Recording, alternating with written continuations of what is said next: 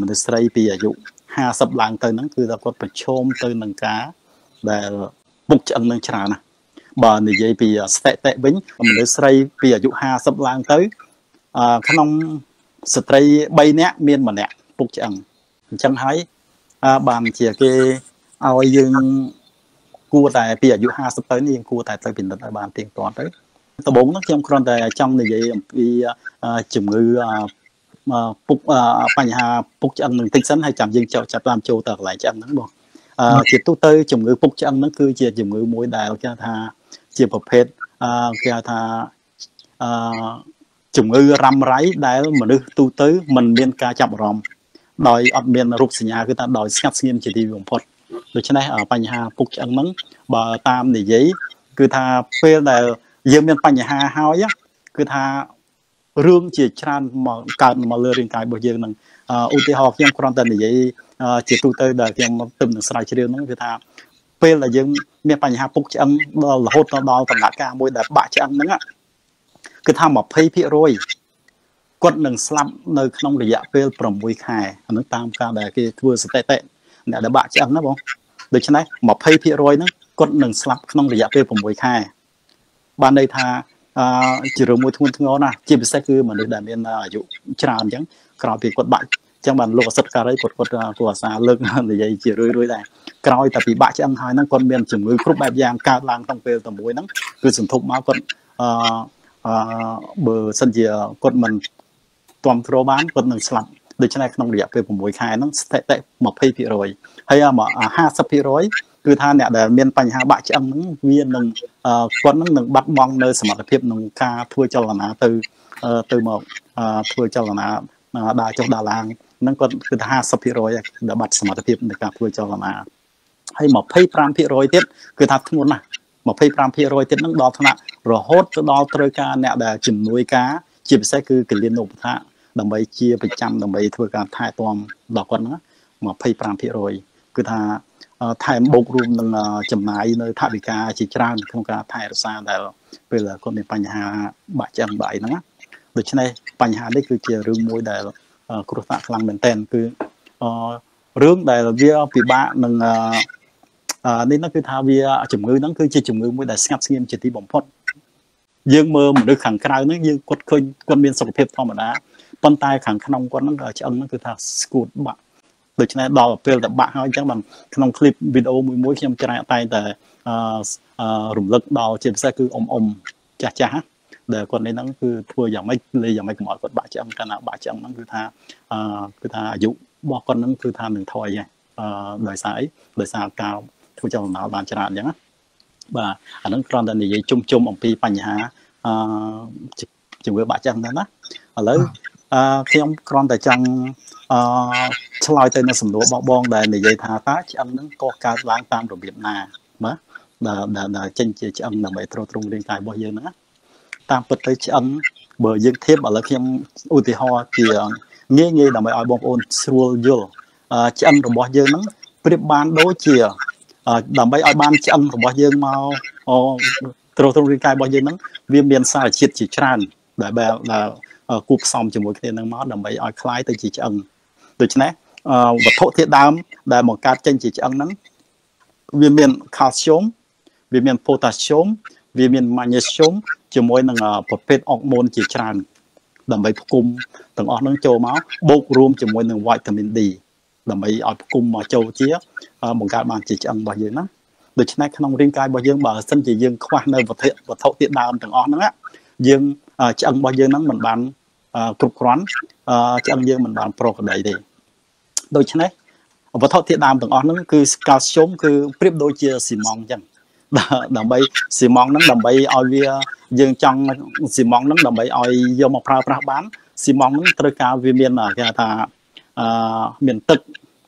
មានទឹកមានខ្សាច់មានគ្រួសមិនអញ្ចឹងដើម្បីឲ្យស៊ីម៉ងហ្នឹងមកប្រើបានដូច្នេះខាល់ស្យូមហ្នឹងប្រៀបដូចជាស៊ីម៉ងអញ្ចឹង ប៉ុន្តែបើសិនជាយើងមានតែខាល់ស្យូមតែមួយមុខគួរយើងមិនអាចធ្វើអីបានដែរខ្វះទឹកស៊ីម៉ងបើអត់មានទឹកយើងក៏វាមិនអាចកករឹងដើម្បីខ្លាយទៅជាសំណង់រឹងបានទេណាហើយបើសិនជាមានទឹកយើងអត់មានខ្សាច់ខ្សាច់ហ្នឹងប្រៀបដូចជាអឺគេហៅថាអឺ magnesium អឺ phosphorus ទាំងអស់ហ្នឹងប្រៀបដូចជាខ្សាច់ដូច្នេះបើសិនជាអត់មានអាសារជាតិទាំងអស់ហ្នឹងបូករួមមកយើងមានតែស៊ីម៉ងជាមួយនឹងទឹក យើងលាយទៅវារឹងមែនប៉ុន្តែស៊ីម៉ងហ្នឹងគឺវាស្រួយមិនអញ្ចឹងបងបាទបាទដូចជាសំណង់មួយបើសិនជាមានតែទឹកជាមួយនឹង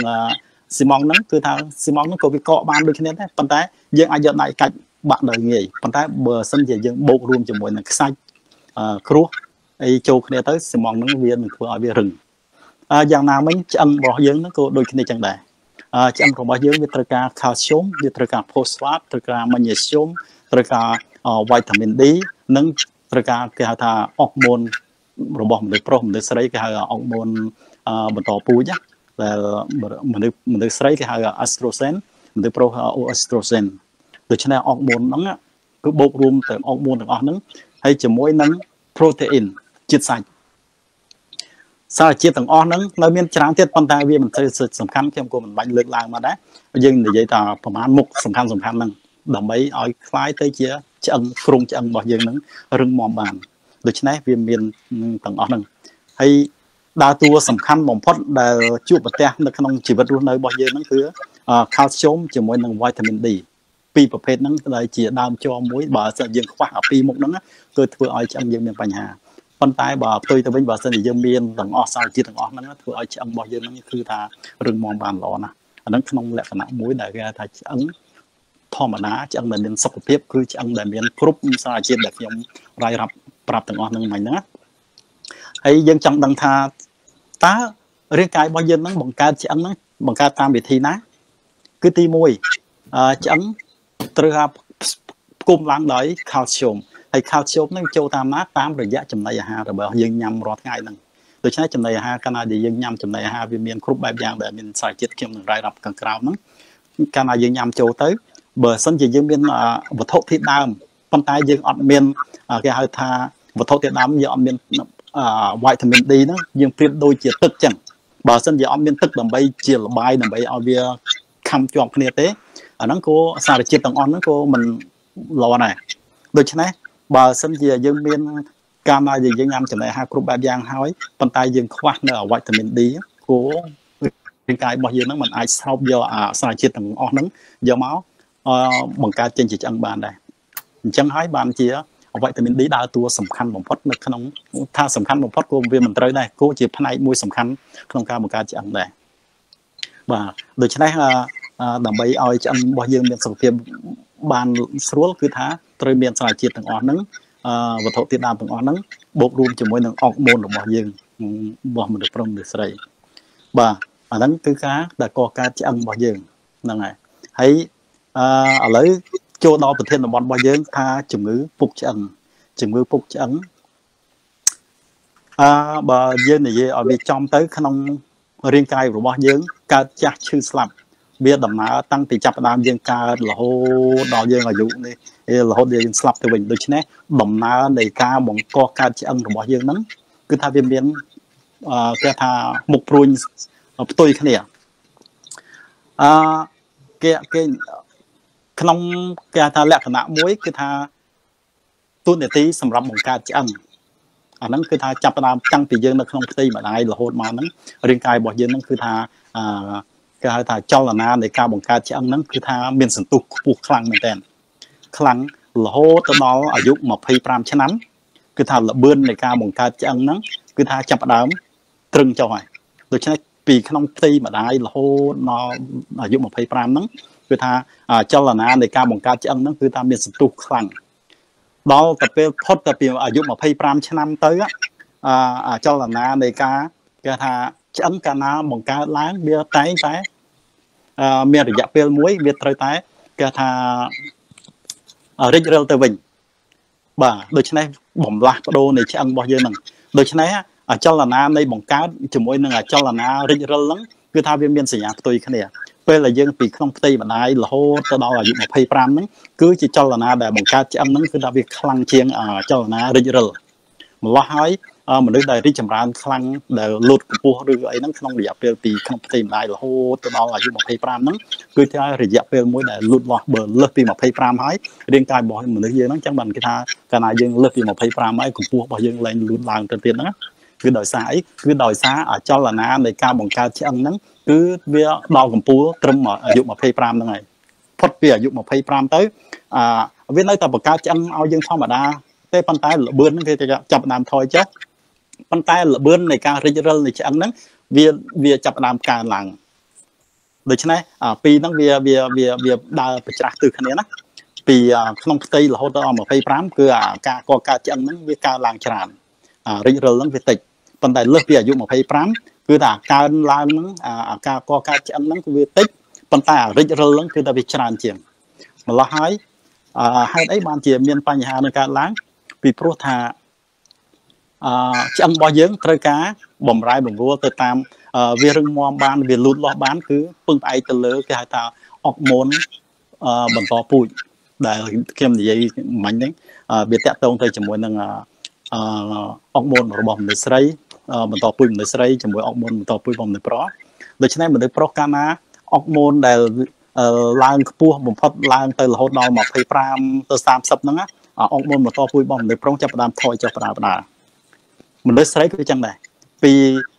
ក្មេងរហូតទៅដល់អាយុ50រយៈពេលដែលអស់រដូវហ្នឹងគឺថាអុកម៉ូនអេស្ត្រូសែនរបស់គាត់ហ្នឹងគឺថាពេលគាត់អស់រដូវអេស្ត្រូសែនរបស់គាត់ហ្នឹងថយចុះហើយដូច្នេះកាលណាអុកម៉ូនថយចុះ ធ្វើឲ្យឆ្អឹងរបស់គាត់ហ្នឹងមានបញ្ហាអត់គ្រប់នៅអាវត្ថុធាតុដើមដើម្បីប្រើប្រាស់នៅក្នុងការបង្កើតឆ្អឹងណា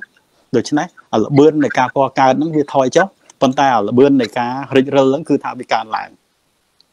អាហ្នឹងជាមូលហេតុមួយដែលធ្វើឲ្យនេះដូច្នេះអឺមនុស្សយើងពីក្មេងរហូតដល់អាយុ50ហ្នឹងនឹងចំពោះមនុស្សស្រីហ្នឹងគឺជារយៈពេលមួយដែលឆ្អឹងរបស់គាត់ហ្នឹងចាប់ផ្ដើមមានមានសកម្មភាពមួយគឺថយចុះក្នុងការកកើតហ្នឹង អាកកើតហ្នឹងវាតិចប៉ុន្តែរិចរិលហ្នឹងវាខ្លាំងម្លោះហើយចឹងបានជាមនុស្សស្រីពីអាយុ50ឡើងទៅហ្នឹងគឺថាគាត់ប្រឈមទៅនឹងការដែលពុកឆ្អឹងនឹងច្រើនណាស់បើនិយាយពីស្ថិតិវិញមនុស្សស្រីពីអាយុ50ឡើងទៅក្នុងស្ត្រី3នាក់មានម្នាក់ពុកឆ្អឹងដូច្នេះតាមស្ថិតិគឺថាក្នុងពេលគាត់អាយុ50ឡើងទៅហ្នឹងពេលជាពេលរយៈពេលគាត់អស់រដូវហ្នឹង គឺថាអត្រានៃពុកឆ្អឹងរបស់គាត់មានច្រើនណាស់ផ្ទុយទៅវិញមនុស្សប្រុសក្នុង10នាក់គឺមានម្នាក់ពុកឆ្អឹងមានបញ្ហាពុកឆ្អឹងណាគឺដោយសារអីហេតុអីបានជាមនុស្សប្រុសមានបញ្ហាពុកឆ្អឹងវាតិចជាងមនុស្សស្រី គឺដោយសារមនុស្សប្រុសយើងវាអឺគឺថាអុកម៉ូនហ្នឹងគឺថយចុះបដាបដាបដាបដារហូតដល់អាយុត្រឹម50ហ្នឹងគឺអុកម៉ូនក៏ថយចុះច្រើនដូច្នេះអាពុកឆ្អឹងហ្នឹងក៏នេះដែរប៉ុន្តែមនុស្សស្រីគាត់ ពុកឆ្អឹងហ្នឹងគឺទីវាមានច្រើនប្រភេទរបស់មនុស្សស្រីគឺដោយសារគាត់ពោពោះកាលណាគាត់ពោពោះទារកហ្នឹងណាគឺថាទារកហ្នឹងគឺស្រូបយកកាល់ស្យូមពីក្នុងខ្លួនរបស់គាត់នឹងច្រើនណាដើម្បីយកមកបង្កើតឆ្អឹងឲ្យទារកហើយដល់ពេលតែហើយក្នុងរយៈពេលបើសិនគាត់មានផ្ទៃពោះច្រើនដងទៀតធ្វើឲ្យហើយបូករួមជាមួយគាត់ហូបចំណេះអាហារអត់បានគ្រប់គ្រាន់ធ្វើឲ្យឆ្អឹងរបស់ម្ដាយហ្នឹងគឺខ្សោះ មុនអាយុ50ហ្នឹងក៏គាត់បានក៏បញ្ហាដែលខ្សោះក្នុងស្គួតឆ្អឹងហ្នឹងគឺកើនឡើងហើយដូច្នេះមនុស្សស្រីគឺថាអកុសលជាងមនុស្សប្រុសត្រង់ថាគាត់ពោពោះផងដល់ដំណាក់កាលដែលគាត់អស់រដូវមនុស្សមនុស្សប្រុសគេថាអុកម៉ូនបន្តពូជរបស់មនុស្សប្រុសគឺថានៅតែបង្កើតជារហូតរហូតដល់អាយុ70 80ក៏នៅតែមានអុកម៉ូនហ្នឹងដែរណាគ្រាន់តែវាមិនបានខ្លាំងដូចពេលនៅវ័យក្រោមអាយុ25អញ្ចឹងណា ផ្ទុយទៅវិញមនុស្សស្រីគ្នាទៅដល់ត្រឹមតែអាយុ50ពេលដែលគាត់អស់រដូវហើយណាអុកម៉ូនរបស់គាត់នឹងលែងមានហើយអើវាវានេះហើយអុកម៉ូនហ្នឹងគឺនៅតែមានប៉ុន្តែមិនមែនដោយសារគេហៅថាដៃស្បូនរបស់គាត់ជាអ្នកបង្កើតទេគឺដោយសារកពេញផ្សេងផ្សេងបង្កើតទេប៉ុន្តែកពេញផ្សេងផ្សេងបង្កើតមកក៏អត់គ្រប់គ្រាន់ក្នុងការទ្រទ្រង់របស់គាត់បានល្អដូចពេលគាត់នៅក្មេងដែរដូច្នេះគួរឲ្យសោកស្ដាយចំពោះមនុស្សស្រីគាត់មានបន្ទុកធ្ងន់ណាស់អញ្ចឹងហើយយើងគួរតែស្រឡាញ់មនុស្សស្រីឲ្យបានច្រើន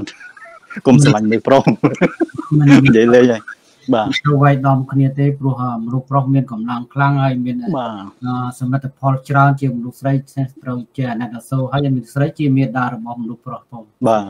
អឺបើគិតដល់ចំណុចកន្លែងហ្នឹងគឺថាគួរឲ្យអាណិតមនុស្សស្រីណាអឺហើយគាត់រងនៅគេថាសម្ពាធខ្លាំងមែនតើជាពិសេសគឺថាបញ្ហាឆ្អឹងរបស់គាត់ហ្នឹងគឺថាអឺខ្លាំងណាស់ អាហ្នឹងយើងនិយាយត្រឹមតែឆ្អឹងទេណាពេលគាត់អស់រដូវហ្នឹងរាងកាយរបស់គាត់ហ្នឹងគឺបំរែបំរួលអរម៉ូនក្នុងសរីរាង្គរបស់គាត់ហ្នឹងគឺថាច្រើនណាស់គាត់ជាពិសេសគឺស្ត្រីដែលក្នុងកំឡុងពេលដែលគាត់រៀបនឹងអស់រដូវជាមួយនឹងទើបនឹងអស់រដូវក្នុងរយៈពេល1ឆ្នាំ2ឆ្នាំដំបូងហ្នឹងអឺបើសិនជាស្ត្រីនឹងគាត់ទប់មិនជាប់ទេគាត់ងាយនឹងខ្លាយទៅជា depression មានបញ្ហាច្រើនណាស់ជាពិសេសគឺស្ត្រីក្នុងវ័យ50ឆ្នាំហ្នឹងគឺថាគាត់កំពុងតែគឺថាបន្ទុកគ្រប់បែបយ៉ាងទាំងអស់ ទី1គឺថាខ្លួនឯងផងក្នុងខ្លួនឯងផងទី2បញ្ហាក្នុងគ្រួសារផងកូនចៅវាធំឡើងអាយុទឹកនឹងជំទង់អី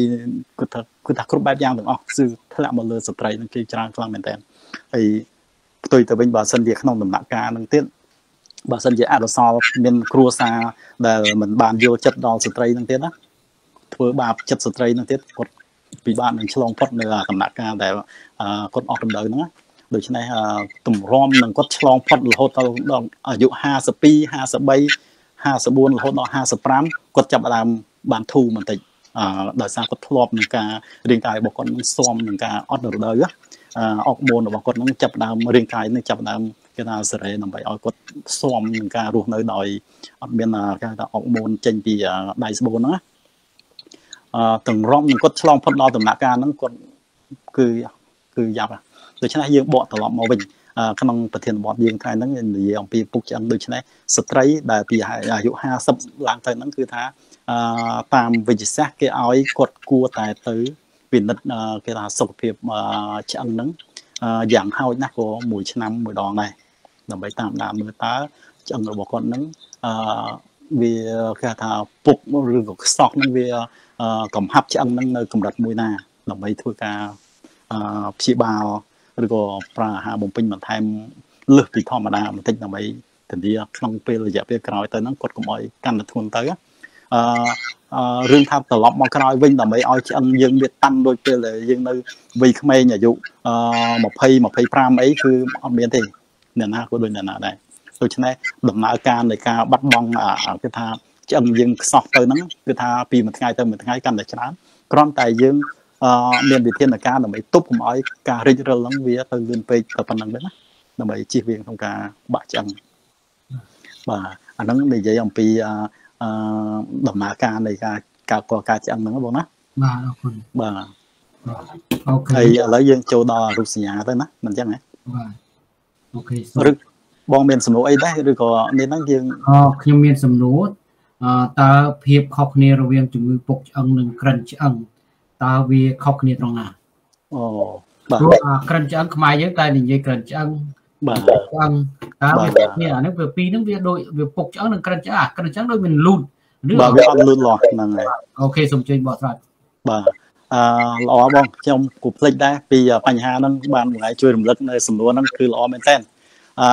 អឺភាគច្រើនយើងគិតទៅហាក់ដូចថាវាដូចគ្នាតាមពិតទៅវាខុសគ្នាអឺ ជំងឺក្រិនក្រិនឆ្អឹងហ្នឹងគឺគឺច្រើនកើតនៅលើទារកឬក៏កុមារនៅវ័យក្មេងក្រោមអាយុ10ឆ្នាំ គឺ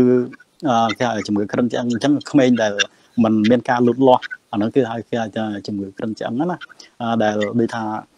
សរីរាង្គរបស់កុមារហ្នឹងគឺថាអត់លូតលាស់ដូចប្រកដីដូចជាក្មេងធម្មតាគឺដោយសារអីដោយសារក្មេងហ្នឹងគឺក្រិនឆ្អឹងឆ្អឹងនឹងខ្វះការលូតលាស់ហេតុអីបានក្មេងនឹងក្រិនឆ្អឹងវាមានពីរប្រភេទ ខ្សោះ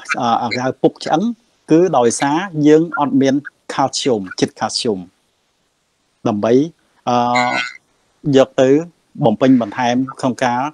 បង្កើតឆ្អឹងប៉ុន្តែបញ្ហាដែលថាក្រិនឆ្អឹងហ្នឹងគឺមូលហេតុចម្បង គឺបណ្ដាលមកពីខ្វះវីតាមីន D ដូច្នេះអឺក្មេង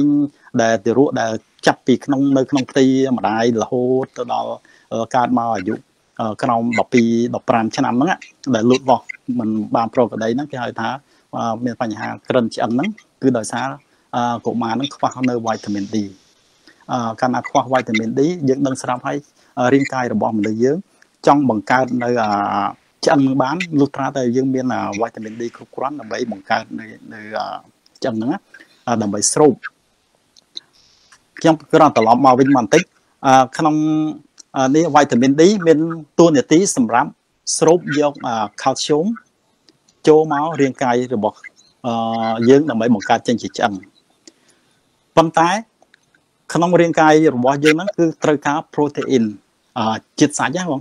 ជាតិសាច់ហ្នឹងដែលមានតួនាទីសម្រាប់បង្កើតឆ្អឹងហ្នឹងដែរមានតួនាទីសម្រាប់ដឹកនាំយកខាល់ស្យូមហ្នឹងយកមកចិញ្ចឹមឆ្អឹង ដើម្បីឲ្យកកើតជាឆ្អឹងដូច្នេះសាច់យើង protein ហ្នឹងគឺមានសារៈសំខាន់មែនទែនក្នុងការបង្កកើតឆ្អឹងហ្នឹងដែរអឺដូច្នេះម្ដងទៀតវីតាមីន D សម្រាប់ឲ្យរាងកាយរបស់យើងស្រូបយកខាល់ស្យូមហ្នឹងមកចិញ្ចឹមឆ្អឹងប៉ុន្តែចង់ស្រូបយកមកបានលុះត្រាតែយើងមានគេថា protein protein ហ្នឹងគឺជាអ្នកដឹកជញ្ជូនហើយជាមួយនឹងក៏ជាគេហៅថាវត្ថុធាតុដើមមួយដើម្បីនេះដែរដែល protein ហ្នឹងជាប្រភេទគេហៅថា collagen collagen ហ្នឹងបង collagen ហ្នឹងដែលយកមកដើម្បីបង្កើតចេញជាឆ្អឹងយើងហ្នឹងណាដូច្នេះអឺក្មេងដែលមានបញ្ហាក្រិនឆ្អឹងហ្នឹងអឺគឺដោយសារកុមារហ្នឹងគឺខ្វះនៅវីតាមីន D អឺហើយធ្វើយ៉ាងម៉េចដើម្បីឲ្យយើងដឹងថាក្មេងនឹងក្រិនឆ្អឹងឬក៏មិនក្រិនឆ្អឹងអឺយើងដឹងតាមរបៀបអឺតាំងពីនៅក្នុងផ្ទៃម្ដាយអឺពេលដែលក្នុងផ្ទៃម្ដាយយើងអត់ទាន់ដឹងពេលទារកកើតចេញមកព្រាម ទារកហ្នឹងធម្មតាពេលដែលយើងដឹងតាមដោយរបៀបថាធម្មតាកុមារដែលកើតមកបានទារកកើតមកបានក្នុងរយៈពេល2ខែទៅ3ខែអឺកុមារហ្នឹងអឺបង្ហើយកន្លែងបង្ហើយលើក្បាលនេះបងបង្ហើយហ្នឹងគឺថាវានឹងបិទបង្ហើយហ្នឹងចិត្តនៅក្នុងរយៈពេលត្រឹម2ខែយ៉ាងយូរ3ខែហ្នឹងគឺថាបង្ហើយរបស់គុំក្មេងហ្នឹងចិត្តហើយប៉ុន្តែក្មេងមួយចំនួនដែលគេហៅថាមានបញ្ហាដែលខ្វះវីតាមីន D ហ្នឹងអឺ ឆ្អឹងលូតលាស់ឲ្យបានប្រកដីដូចជាទារកធម្មតាគឺថាបង្ហើយរបស់កុមារហ្នឹងគឺថាអត់ងាយនឹងអត់ងាយរឹងទេគឺ5 6ខែយើងស្ទាបក្មេងខ្លះរហូតដល់8ខែហ្នឹងយើងស្ទាបទៅនៅតែឃើញនៅនៅទុនទុនឡើយបានន័យថាអឺកុមារហ្នឹងកំពុងតែខ្វះនៅសារជាតិបំពន់ឆ្អឹងកំពុងតែមានបញ្ហាគេថាក្រិនឆ្អឹងនៅកុមារហ្នឹងហើយ នឹងវិធីដែលយើងឲ្យបងប្អូនជាមេដាបេដាដែលងាយដឹងហ្នឹងអឺយើងចាប់អារម្មណ៍បើសិនជាកូនយើងលើសពី2ខែ3ខែឡើងទៅហើយបង្ហើយរបស់កូនហ្នឹងនៅតែអឺអត់តន់រឹងទៀតណាបាទន័យថានេះជាសញ្ញាមួយឲ្យបងប្អូនដឹងថាកូនយើងកំពុងតែមានបញ្ហាអឺការលូតលាស់ឆ្អឹងហ្នឹងអត់ប្រក្រតីហើយដូច្នេះគួរតែទៅជួបវិជ្ជាបណ្ឌិតឬក៏ពិគ្រោះវិជ្ជាបណ្ឌិតឬក៏ឲ្យអាហារបំពន់បន្ថែមដើម្បីឲ្យកុមារហ្នឹង ជៀសផុតពីបញ្ហាគ្រុនឆ្អឹងបើមិនអញ្ចឹងទេធ្វើឲ្យក្មេងហ្នឹងអឺធំបន្តិចមកធ្វើឲ្យគេថាអ្វីដែលយើងមើលមើលនឹងផ្នែកដឹងគឺថាចិញ្ចើមរបស់នេះថ្ងាសរបស់ក្មេងហ្នឹងគឺវាពកវាមកវាលយមកខាងខាងមុខជាងប្រុសដីអាថ្ងាសហ្នឹងបាទបាទទី1បាទទី2ជើងរបស់ក្មេងហ្នឹងបើកាលណាវាមានបញ្ហាដែលខ្វះវីតាមីន D តាំងពីតូចមកហ្នឹង ធ្វើឲ្យឆ្អឹងគ្រោងឆ្អឹងរបស់កុមារហ្នឹងកើតមកគឺថាលូតបោះអត់បានប្រកដីធ្វើឲ្យជើងហ្នឹងវារាងកោងជើងរាងកោងហើយដើរមកគឺពេលក្មេងធំឡើងមកគឺធ្វើឲ្យជើងរបស់ក្មេងហ្នឹងកោងហើយមួយទៀតអឺបើក្មេងខ្លះជើងវាមិនកោងអញ្ចឹងទេក្បាលជង្គង់វាទៅអឹបចូលគ្នាប៉ុន្តែជើងខាងក្រោមវាកថេចេញហើយជាមួយដៃសងខាងកែងដៃហ្នឹងដងដៃសងខាងហ្នឹងគឺថាវារាងកោង វាកោងចេញមកក្រៅដូច្នេះបានន័យថាការដែលវិវត្តនៃការលូតលាស់ឆ្អឹងនោះអត់បានប្រក្រតីអាហ្នឹងជារូបសញ្ញាមួយដើម្បីឲ្យយើងចាប់អារម្មណ៍ថាកុមារហ្នឹងកំពុងតែប្រឈមនឹងការក្រិនឆ្អឹងអាហ្នឹងដោយសារខ្វះនៅវីតាមីន D ប៉ុន្តែសង្កត់ទុកគាត់នៅស្រុកនេះសំណាងដែរបានក្រសួងសុខាភិបាលគេបានរៀបចំឲ្យក្មេងថ្លឹងប្រចាំខែហ្នឹងណាបាទឆ្នេះតាមដានក្មេងលូតលាស់ឬមិនលូតលាស់ បើសិនជាក្មេងនឹងមិនលូតលាស់ទេគេនឹងហៅឪពុកម្ដាយហ្នឹងទៅរៀនសូត្រម្ដងតើត្រូវធ្វើម៉េចធ្វើម៉េចឲ្យក្មេងដូច្នេះចំពោះបងប្អូនដែលមានកូនក្មេងដែលត្រូវទទួលបន្ទុកនឹងចាប់ពីកើតឡើងទៅត្រូវតែថ្លឹងឲ្យបានត្រឹមជួបជួបកន្លែងថ្លឹងឲ្យបានត្រឹមត្រូវថ្លឹងជាប្រចាំបាទទៅតាមកាលណាប៉ុន្តែបើនៅស្រុកយើងមិនដឹងជាមានកម្មវិធីនឹងឬក៏អត់ទេខ្ញុំក៏អត់បានចាប់អារម្មណ៍ដែរណាចំពោះបញ្ហាតាមដានក្មេងអាហ្នឹង ក្មេងគេថាការដែលជំងឺក្រិនឆ្អឹងហ្នឹងវាខុសជាមួយនឹងខ្វះជីវជាតិការស្លឹងហ្នឹងគឺដើម្បីឲ្យដឹងថាតើក្មេងហ្នឹងមានមានគេថាអាហារូបត្ថម្ភគ្រប់គ្រាន់ការលូតលាស់គ្រប់គ្រាន់ឬក៏អត់អាហ្នឹងផ្អែកទៅលើការរីកលូតលាស់នៃរាងកាយទេជារួមណាបងប៉ុន្តែចបញ្ហាក្រិនឆ្អឹងហ្នឹងគឺថាវាខុសគ្នាជាមួយនឹងខ្វះជីវជាតិអ ក្រិនឆ្អឹងហ្នឹងគឺដោយខ្វះជីវជាតិហ្នឹងគឺខ្វះតែវីតាមីន D ហ្នឹងទេដែលធ្វើឲ្យឆ្អឹងក្មេងហ្នឹងវា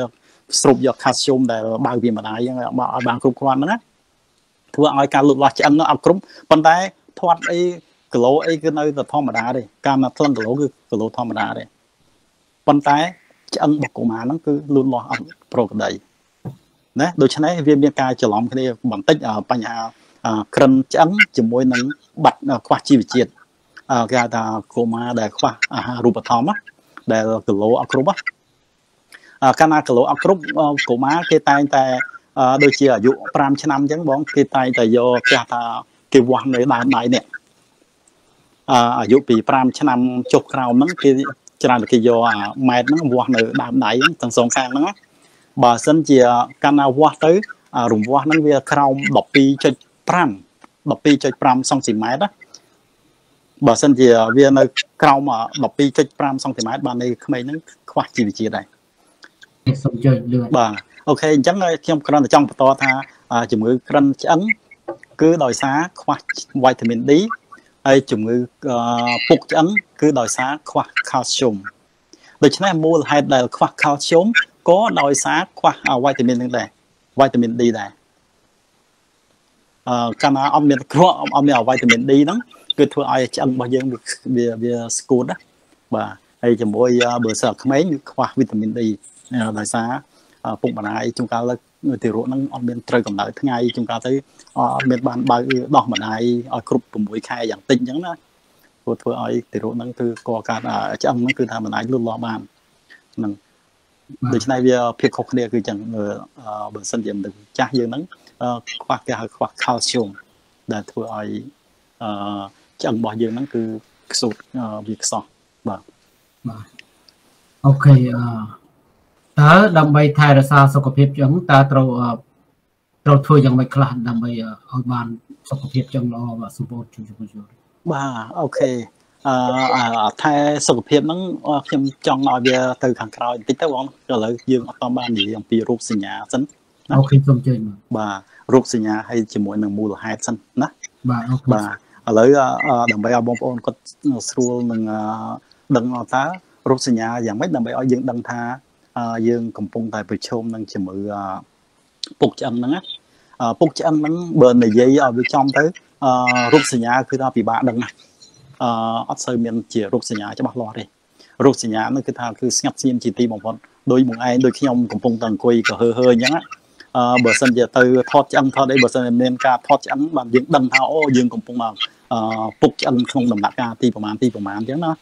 ដូច្នេះអឺជំងឺពុកឆ្អឹងដែលវាប្រឈមបំផុតហ្នឹងគឺដោយសាររូបសញ្ញាគឺថាស្ងាត់ស្ងៀមជាទីបំផុតអឺនឹងហើយដែលធ្វើឲ្យអឺយើងម្នាក់ម្នាក់ហ្នឹងគឺថាធ្វើការធ្វេសប្រហែសអត់បាននឹកឃើញដល់អំពីសុខភាពឆ្អឹងរបស់យើងអឺរូបសញ្ញាដែលវាច្បាស់បំផុតណា នៅពេលដែលបាក់ឆ្អឹងហើយដល់ពេលបាក់ឆ្អឹងឆ្អឹងយើងវាពុកពេលបាក់ហើយបានយើងទៅពេទ្យដល់ទៅពេទ្យនឹងធ្វើការថតឆ្អឹងថតអីទៅអាហ្នឹងបានឃើញដឹងថាយើងហ្នឹងកំពុងតែពុកឆ្អឹងដល់ដំណាក់កាលដែលបាក់ឆ្អឹងហើយបាក់ហ្នឹងគឺបាក់នៅក្នុងការដែលយើងដួលឬក៏យើងគ្រាន់តែខ្ទាស់ជើងបន្តិចយើងក៏ដួលផ្ដេកខុសទំនងតែបន្តិចធ្វើឲ្យឆ្អឹងហ្នឹងវាបាក់ ហើយបាក់ហ្នឹងជាពិសេសដូចក្នុងរូបដែលបងដាក់នៅលើអេក្រង់យើងអញ្ចឹងណាជាពិសេសគឺថាបាក់នៅឆ្អឹងតាគៀកហ្នឹងឆ្អឹងតាគៀកហើយជាមួយនឹងឆ្អឹងក្រភ្លៅរបស់យើងហ្នឹងណាអឺគឺងាយប្រឈមជាងគេបំផុតគឺបាក់អាហ្នឹងរោគសញ្ញាដែលធ្វើឲ្យយើងដឹងហ្នឹងបាក់ហ្នឹងគឺវា too late បាត់ហើយប៉ុន្តែរោគសញ្ញាដែលបន្ទាប់បន្សំដែលធ្វើឲ្យយើងនឹងងាយច្រឡំទៅជាមួយនឹងរោគសញ្ញាផ្សេងផ្សេងគឺ វាមានដែរប៉ុន្តែវាមិនចេញជាច្បាស់លាស់ធ្វើឲ្យមនុស្សយើងតែងតែមើលរំលងនៅបញ្ហារោគសញ្ញាពុកឆ្អឹងគាត់ស្មានតែមិនមែនជារោគសញ្ញាពុកឆ្អឹងគាត់ស្មានតែគាត់ឈឺដូចជារោគសញ្ញាដូចជាគាត់មានអាការៈឈឺអង្គុយយូរគាត់ឈឺចង្កេះងើបឡើងទៅគាត់មានអាការៈរួយរួយចង្កេះចុករួយនៅនៅចង្កេះរបស់គាត់ហ្នឹងឬក៏គាត់ចុករួយនៅកញ្ចឹងករបស់គាត់ហ្នឹងដោយសារគាត់អឺធ្វើការអោននៅយូរអញ្ចឹងណា ឬក៏ចង្កេះរបស់គាត់ហ្នឹងអង្គុយក្នុងរយៈពេលកន្លះម៉ោងឲ្យងើបឡើងមកគាត់ងើបអត់ចង់រួយណាអាហ្នឹងគឺជារោគសញ្ញាមួយដែលវាងាយច្រឡំជាមួយនឹងជាប់សរសៃខ្មែរយើងច្រើននិយាយថាយើងជាប់សរសៃឬក៏អីចឹងណាបាទហ្នឹងហើយដែលជារោគសញ្ញាមួយដែលវាងាយច្រឡំហើយធ្វើឲ្យយើងតែតែមើលរំលងនឹងឃើញថាអូទិញអាថ្នាំបំបត្តិការទៅចាប់ញ៉ាំបន្តិចទៅដើម្បីឲ្យបាត់ក្នុងរយៈពេលហ្នឹងណាប៉ុន្តែនេះជាសញ្ញាមួយបើសិនជាបងប្អូនមាន អាការៈអង្គុយយូรงើបឡើងមកចុករួយនៅក្រវ៉ាត់ចកេះរបស់យើងហ្នឹងណាហើយមានអារម្មណ៍ថាវាក្តៅនៅក្នុងចកេះរបស់យើងហ្នឹងណាវាមានច្រើនមូលហេតុប៉ុន្តែយើងគួរតែចាប់អារម្មណ៍ទៅដល់បញ្ហាដែលយើងកំពុងតែមានបញ្ហាពុកឆ្អឹងទី1ទី2វាអាជើងចកេះហ្នឹងវាអាចច្រឡំគ្នាជាមួយនឹងការការលៀនឌីសលៀនឌីសឆ្អឹងខ្នងឆ្អឹងឆ្អឹងកងខ្នងណាបង ឆ្អឹងកងខ្នងរបស់យើងវាមានមួយកង់មួយកង់អញ្ចឹងនៅនៅអាប្រឡោះពី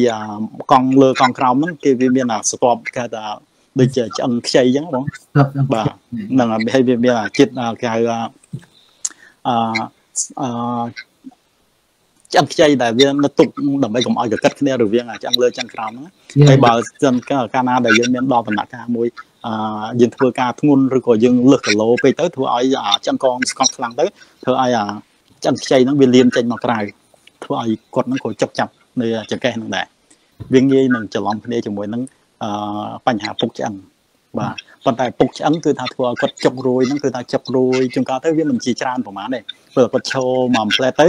អារម្មណ៍គាត់បានធូរស្រាលឡើងមកវិញហើយឲ្យតែពេលណាគាត់អង្គុយយូរគាត់មានអារម្មណ៍ចឹងទៀតដែរចុកចឹងទៀតណា អាហ្នឹងគឺជារោគសញ្ញាមួយ ដែលធ្វើឲ្យយើងទៅគិតដល់បញ្ហាចុកឆ្អឹងអឺពុកឆ្អឹងអញ្ចឹងហើយបានជាគេឲ្យយើងគួរតែពីអាយុ50ទៅនេះយើងគួរតែទៅពិនិត្យឲ្យបានទៀងទាត់ទៅដើម្បីឲ្យដឹងថាតើឆ្អឹងយើងនឹងកំពុងពុកនៅក្នុងដំណាក់កាលណាណាហ្នឹងហើយដូច្នេះរោគសញ្ញាហ្នឹងគឺថានៅតែពេលហ្នឹងគឺថានេះប៉ុណ្ណឹងរោគសញ្ញាគឺថាចុករួយឬក៏អឺខ្ចឹងកជាផ្សេងទៅអាចឹងខ្ចឹងករបស់យើងណាបាទពេលនេះវាចុករួយតាមអាចឹងកយើងជាប្រចាំអញ្ចឹងអាហ្នឹងគួរជារោគសញ្ញាមួយបាទសូមសួរបងចកចំពោះក្បាលជង្គង់វិញអាហ្នឹងវាជាជំងឺបាទបងប្អូនខ្មែរយើងខ្លះឈឺច្រើនមិនមែនតែខ្មែរគ្រប់ជាតិសាសន៍ហ្នឹងបាទតាមសន្លាក់តាមអីហ្នឹងហ្នឹងក៏ជារោគសញ្ញាមួយដែលនេះដែរអឺជង្គង់ប៉ុន្តែភាកច្រើនដែល ជង្គង់ហ្នឹងវាតាក់ទងទៅជាមួយនឹងពេលដែលគាត់ចាស់ទៅចង្ការទៅគាត់ធ្វើឲ្យអឺគេហៅប្រេងនៅក្នុងជង្គង់ហ្នឹងវាវាតិចវាអត់សូវមានធ្វើឲ្យឆ្អឹងហ្នឹងវាកកិតទៅគួរធ្វើឲ្យគាត់ហ្នឹងគួរឈឺដែរវាមានច្រើនមូលហេតុណាស់ជង្គង់ដូច្នេះអឺការដែលឈឺជង្គង់ហ្នឹងវាចំការរលាកដោយជាតិអាស៊ីតវាឡើងឬក៏ដោយសារអឺឆ្អឹងរបស់យើងនឹងវាពុកឬកកិតគ្នាហ្នឹងក៏ជាមូលហេតុដែរ ប៉ុន្តែរោគសញ្ញាដែលធ្វើឲ្យយើងដឹងច្រើនងាយដឹងជាងគេហ្នឹងគឺថាតាមរយៈដែលឆ្អឹងខ្នងកងខ្នងរបស់យើងហ្នឹងហេតុអីបានជានេះចឹងព្រោះថាឆ្អឹងខ្នងរបស់យើងហ្នឹងគឺថាវាតូចមែនតែនយើងមើលឲ្យវាបើសិនជាយើងគិតឲ្យវាមែនតែនតែយើងគួរឲ្យខ្លាច ការដែលធ្វើចលនាឬក៏ធ្វើការអីលើកធ្ងន់អីចឹងយើងគួរឲ្យខ្លាចណាព្រោះថាឆ្អឹងកងរបស់យើងគឺតែត្រួតត្រងបានទៅដោយសាច់ដុំនៅជុំវិញទេណាតាមពិតតែឆ្អឹងកងខ្នងគឺថាប៉ុនកដៃត្រួតត្រួតលើគ្នាណាហើយដូច្នេះបើសិនជាយើងមានបញ្ហាពុកឆ្អឹងហ្នឹងធ្វើឲ្យយើងអាអាកង់នីមួយនីមួយហ្នឹងធ្វើឲ្យយើងស្រុតណាដូច្នេះរោគសញ្ញាដែលធ្វើឲ្យយើងដឹងថាយើងមានរោគសញ្ញាអាការៈពុកពុកឆ្អឹងហ្នឹងគឺតាមរយៈដែល គឺយើងឈឺខ្នងទី1ទី2កម្ពស់របស់យើងយើងធ្លាប់តែឧទាហរណ៍ដូចខ្ញុំ1.70ម៉ែត្រចឹងណាស្រាប់តែទៅវាស់មើលស្រាប់ឃើញនៅសល់តែ1.65ម៉ែត្រឬក៏1.63ម៉ែត្រអញ្ចឹងណាបានន័យថាយើងស្រុតចុះកម្ពស់របស់យើងនឹងវាស្រុតចុះជាងជាងដែលអ្វីដែលយើងធ្លាប់វាស់កាលមុនយើង1.70ម៉ែត្រឥឡូវស្រាប់តែនៅសល់ត្រឹមតែ1.62 63ដូច្នេះយើងបាត់អស់7សង់ទីម៉ែត្រ6 7សង់ទីម៉ែត្រ បានន័យថាឆ្អឹងរបស់យើងហ្នឹងវាស្រុតចុះជាទូទៅមនុស្សយើងកាលណាកាន់តែអាយុកាន់តែខ្ពស់កម្ពស់របស់យើងហ្នឹងវាកាន់តែស្រុតចុះគឺដោយសារអីដោយសារឆ្អឹងរបស់យើងហ្នឹងវាពុកវាវាពុកអញ្ចឹងហើយធ្វើឲ្យកម្រិតរបស់វាហ្នឹងវាកាន់តែស្រុតចុះមក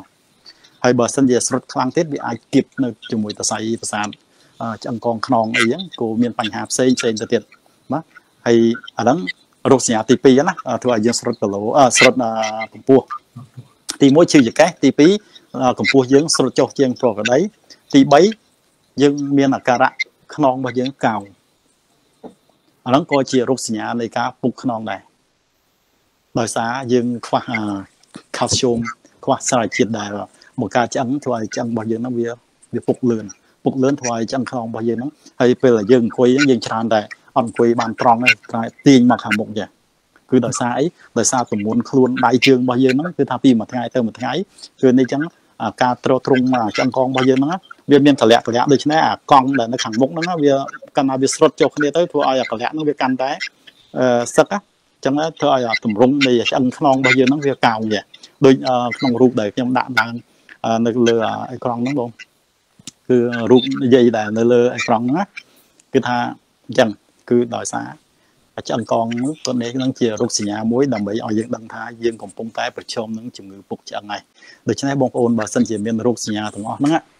អឺគួរតែទៅជួបទៅជួបវិជ្ជបណ្ឌិតដើម្បីធ្វើការថតឆ្អឹងដើម្បីឆែកមើលតើយើងមានបញ្ហាពុកឆ្អឹងឬក៏អត់ចឹងណាបាទប៉ុន្តែធម្មតាទេអឺអត្រានៃការពុកឆ្អឹងហ្នឹងគឺថាមនុស្សស្រីវាច្រើនជាងមនុស្សប្រុសហ្នឹងប៉ុន្តែ បើសិនជាមនុស្សស្រីអាយុរហូតទៅដល់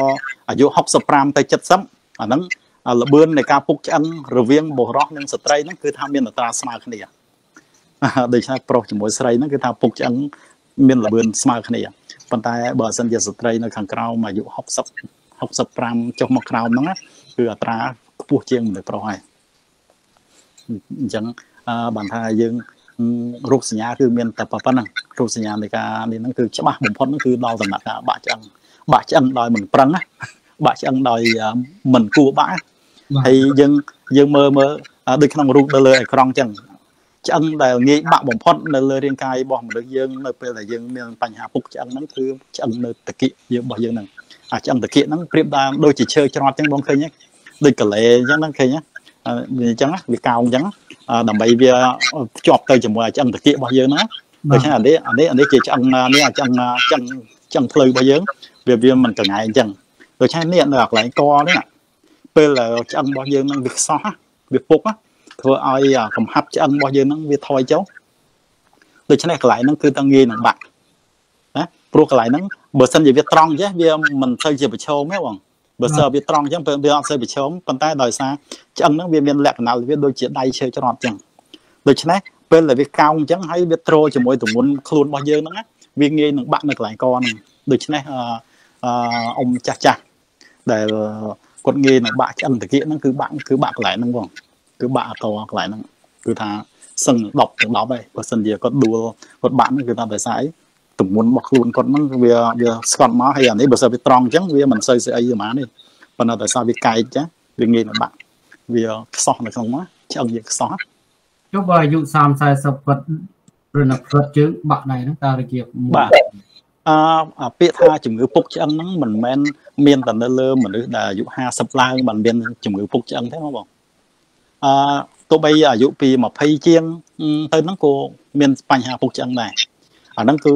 ដោយសារអីអាហ្នឹងមិនតិចទៀតយើងនឹងនិយាយអំពីដល់ទៅមូលហេតុហ្នឹងណាមូលហេតុដែលធ្វើឲ្យពុកឆ្អឹងហ្នឹងវាតាក់ទងទៅអឺ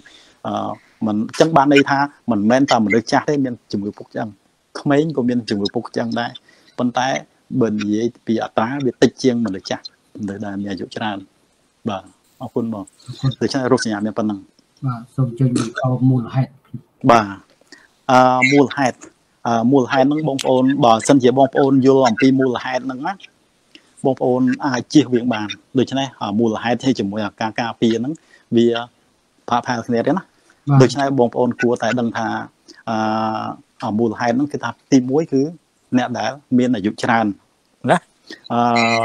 អឺជាទូទៅណាអ្នកដែលអាយុច្រើនហ្នឹងជំងឺពុកឆ្អឹងហ្នឹងគឺវាជាជាជាទូទៅហើយហើយទី2ទៀតអ្នកដែលខ្វះទម្ងន់ខ្វះទម្ងន់ដែលស្រាលជាងគីឡូបង ដែលខ្វះជីវជាតិដែលខ្វះអាហារូបត្ថម្ភនៅរាងកាយក៏ធ្វើឲ្យអ្នកនឹងប្រឈមនឹងការអឺខ្វះនៅជំងឺជំងឺពុកឆ្អឹងដែរ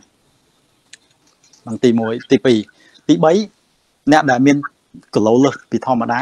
គួរងាយនឹងធ្វើឲ្យគាត់មានប្រឈមនឹងជំងឺពុកឆ្អឹងដែរនឹងជាមូលហេតុទីមួយទៀត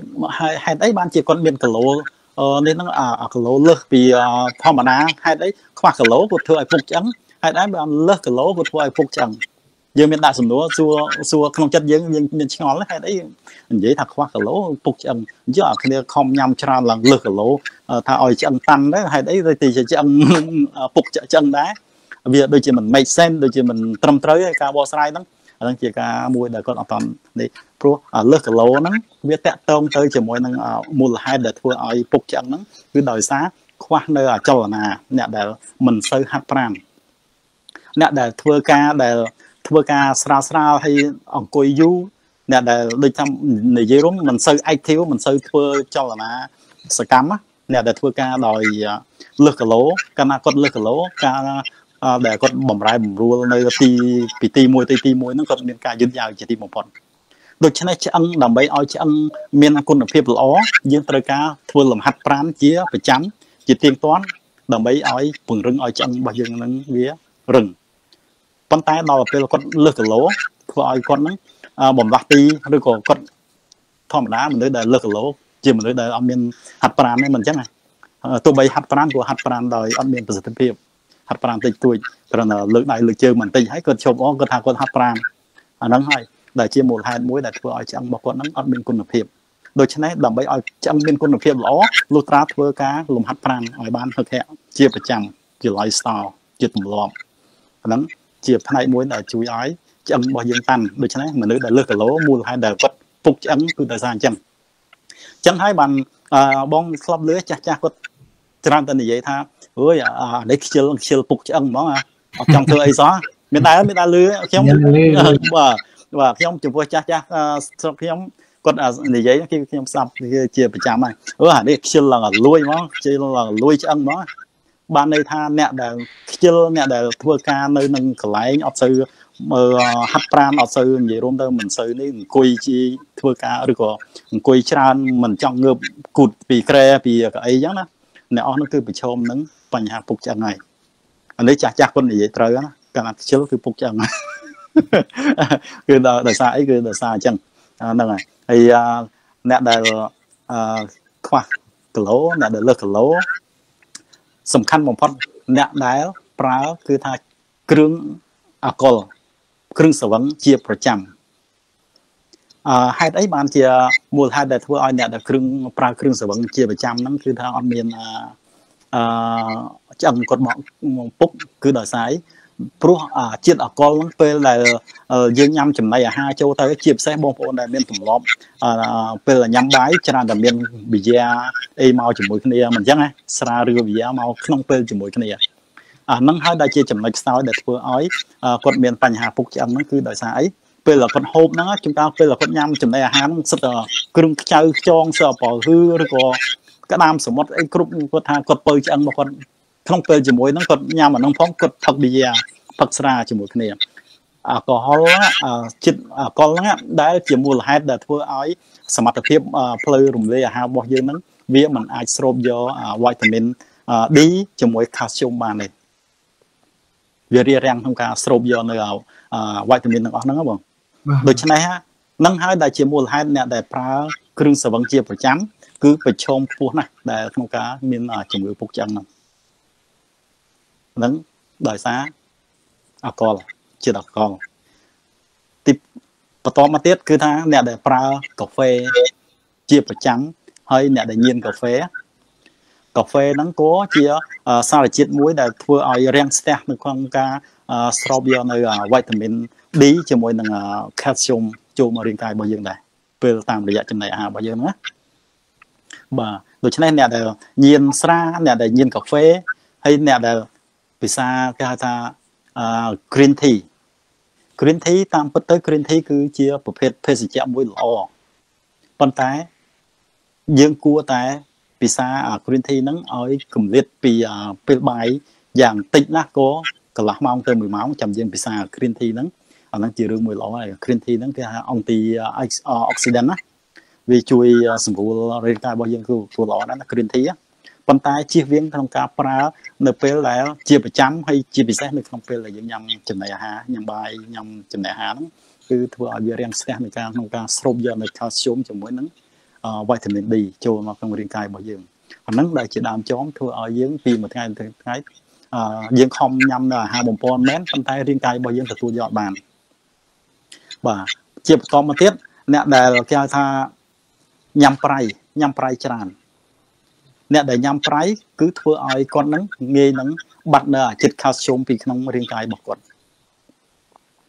ហេតុអីបានជានេះជាតិជាតិអំបិលហ្នឹងកាលណាយើងញ៉ាំច្រើនវាវាធ្វើឲ្យយើងស្រែកទឹកស្រែកទឹកធ្វើឲ្យយើងហ្នឹងគឺញ៉ាំទឹកចូលទៅច្រើនទៅធ្វើឲ្យទឹកហ្នឹងវាវាវាចេញមកតាមផ្លូវទឹកនោមរបស់យើងពេលដែលយើងនេះហ្នឹងអា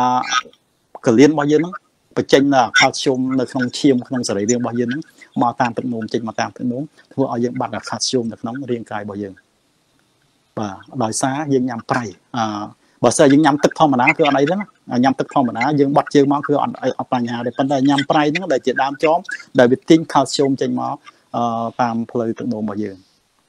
បាទហ្នឹងដូច្នេះអ្នកដែលញ៉ាំប្រៃគឺប្រឈមនឹងជំងឺពុកឆ្អឹងមួយទៀត អ្នកដែលពោះពោះច្រើនដងអ្នកដែលមានផ្ទៃពោះច្រើនដងដូចជាយើងដឹងហើយពេលដែលយើងមានម្ដាយដែលពោះពោះម្ដងម្ដងម្ដាយដែលពោះពោះម្ដងម្ដងគឺថាអឺកូនត្រូវស្រូបយកខោជុំច្រើនណាស់ពីម្ដាយអញ្ចឹងដែលម្ដាយខ្លះក្រោយពីសម្រាប់កូនហើយហ្នឹងគាត់មានអាការៈផ្កាច់គាត់មានអាការៈគេថាលមូលដៃលមូលជើងដោយសារខ្វះអីខ្វះខោជុំនៅក្នុងរាងកាយរបស់គាត់ណាធ្វើឲ្យគាត់ បកាច់ដៃរបស់គាត់ហ្នឹងខ្វេខ្វិនអញ្ចឹងហើយនៅតាមជនបទឃើញគាត់អញ្ចឹងនឹកឃើញអូប្រហែលជាព្រីកាឡាភ្លើងឬក៏អីចឹងណាគឺដោយសារអីគឺដោយសាររាងកាយរបស់គាត់ហ្នឹងខ្វះខាល់ស្យូមធ្ងន់ធ្ងរនៅពេលដែលគាត់មានផ្ទៃពោះហ្នឹងដោយសារកូនស្រូបយកខាល់ស្យូមពីក្នុងរាងកាយរបស់គាត់ហ្នឹងហើយមូលហេតុមួយទៀតអ្នកដែលគេថាញ៉ាំនៅចំណីអាហារដែលខ្វះជីវជាតិ ដែលមានជាតិខាល់ស្យូមនៅក្នុងមានជាតិខាល់ស្យូមច្រើនឬក៏អ្នកដែលមិនសូវត្រូវកម្ដៅថ្ងៃដូច្នេះខាល់ស្យូមចូលទៅក្នុងរាងកាយយើងបាន គឺដោយសារវីតាមីន D វីតាមីន D ដើម្បីឲ្យមានវីតាមីន D ទី1វីតាមីន D មានប្រភពពីរប្រភេទទី1គឺដោយសារពីខាងក្រៅពីតាមរយៈពន្លឺថ្ងៃទី2តាមរយៈចំណីអាហារដូច្នេះវីតាមីន D យើងអាច យើងដឹងហើយនៅនៅស្បែករបស់យើងពេញសាររាង្គកាយរបស់យើងមានស្បែកហ្នឹងនៅខាងក្រោមស្ទាប់ស្បែករបស់យើងហ្នឹងគេហៅថាមានអាហារបំរុងមួយដើម្បីគេមិនមែនអាហារបំរុងទេគេហៅវត្ថុធាតុដើមនៃវីតាមីន D ប៉ុន្តែវត្ថុធាតុដើមហ្នឹងឲ្យคล้ายទៅជាវីតាមីន D បានវាត្រូវការគេហៅថាធ្វើប្រតិកម្មគីមីរវាងពន្លឺព្រះអាទិត្យកាំរស្មីព្រះអាទិត្យ ដើម្បីចាំងមកលើស្បែករបស់យើងហ្នឹងដើម្បីបំលែងជាតិខ្លាញ់ខាងក្រោមស្បែករបស់យើងហ្នឹងឲ្យคล้ายទៅជាវីតាមីន D ដូច្នេះបងប្អូនដែលនៅក្នុងធ្វើការនៅក្នុងប្រូឬក៏ធ្វើការនៅកន្លែងដែលអត់មានពន្លឺថ្ងៃអឺជាប្រចាំគាត់ប្រឈមនឹងការខ្វះវីតាមីន D កាលណាគាត់ខ្វះវីតាមីន D យើងដឹងហើយវីតាមីន D មានតួនាទីសម្រាប់ស្រូបយកអាខាល់ស្យូមដែលយើងញ៉ាំតាមរយៈចំណីអាហារហ្នឹងចូលទៅបំពន់ឆ្អឹងរបស់យើងដូច្នេះកាលណាដែលគាត់ នៅក្នុងមលុបជាប្រចាំគាត់អត់មានពន្លឺថ្ងៃអត់ត្រូវពន្លឺថ្ងៃបានន័យថាស្បែករបស់គាត់ហ្នឹង